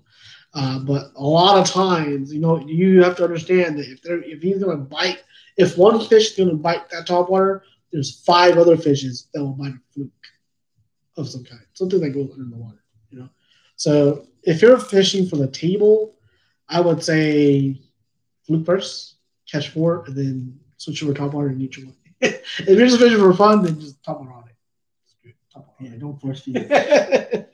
yeah, that's something we had to learn too in the tournament. world. Don't force feed the fish.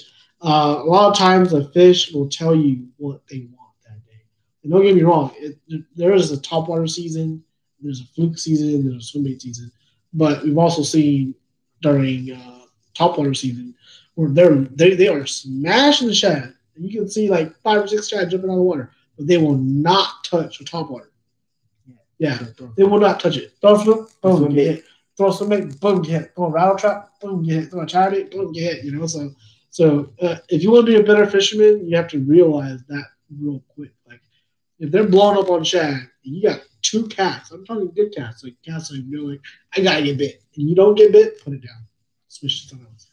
Yeah, so that's how you become a good fisherman. That's how he's got like freaking four, about to get four AOYs. You know, it's like he's good at that stuff. All right, guys. Uh? All right, so I think that's about it, man. I think uh, I think that's enough for tonight. Um, I hope you guys are all subs. If you guys are, and uh, please share the stuff with your friends because there's so many nuggets here. Uh, but um, I think uh, we'll try to do another Thanks, one Chris next week, and uh, we'll try to. I think is stripers are pretty hot, so I guess we're gonna stay on the striper uh, topic. Uh, I'll probably go into more like surf rod setups because they call it surf rod, but it's really a long distance casting rod. You know, so we'll cover more of that. I'll, we'll probably bring in some equipment to show you guys uh, everything from like beginner stuff to like expansive exotic. So we got so many stuff taken right now. Um, so we'll cover that. Maybe that one on the, on the next one. All right, guys. See you guys. See you guys Later, later. guys. Thanks.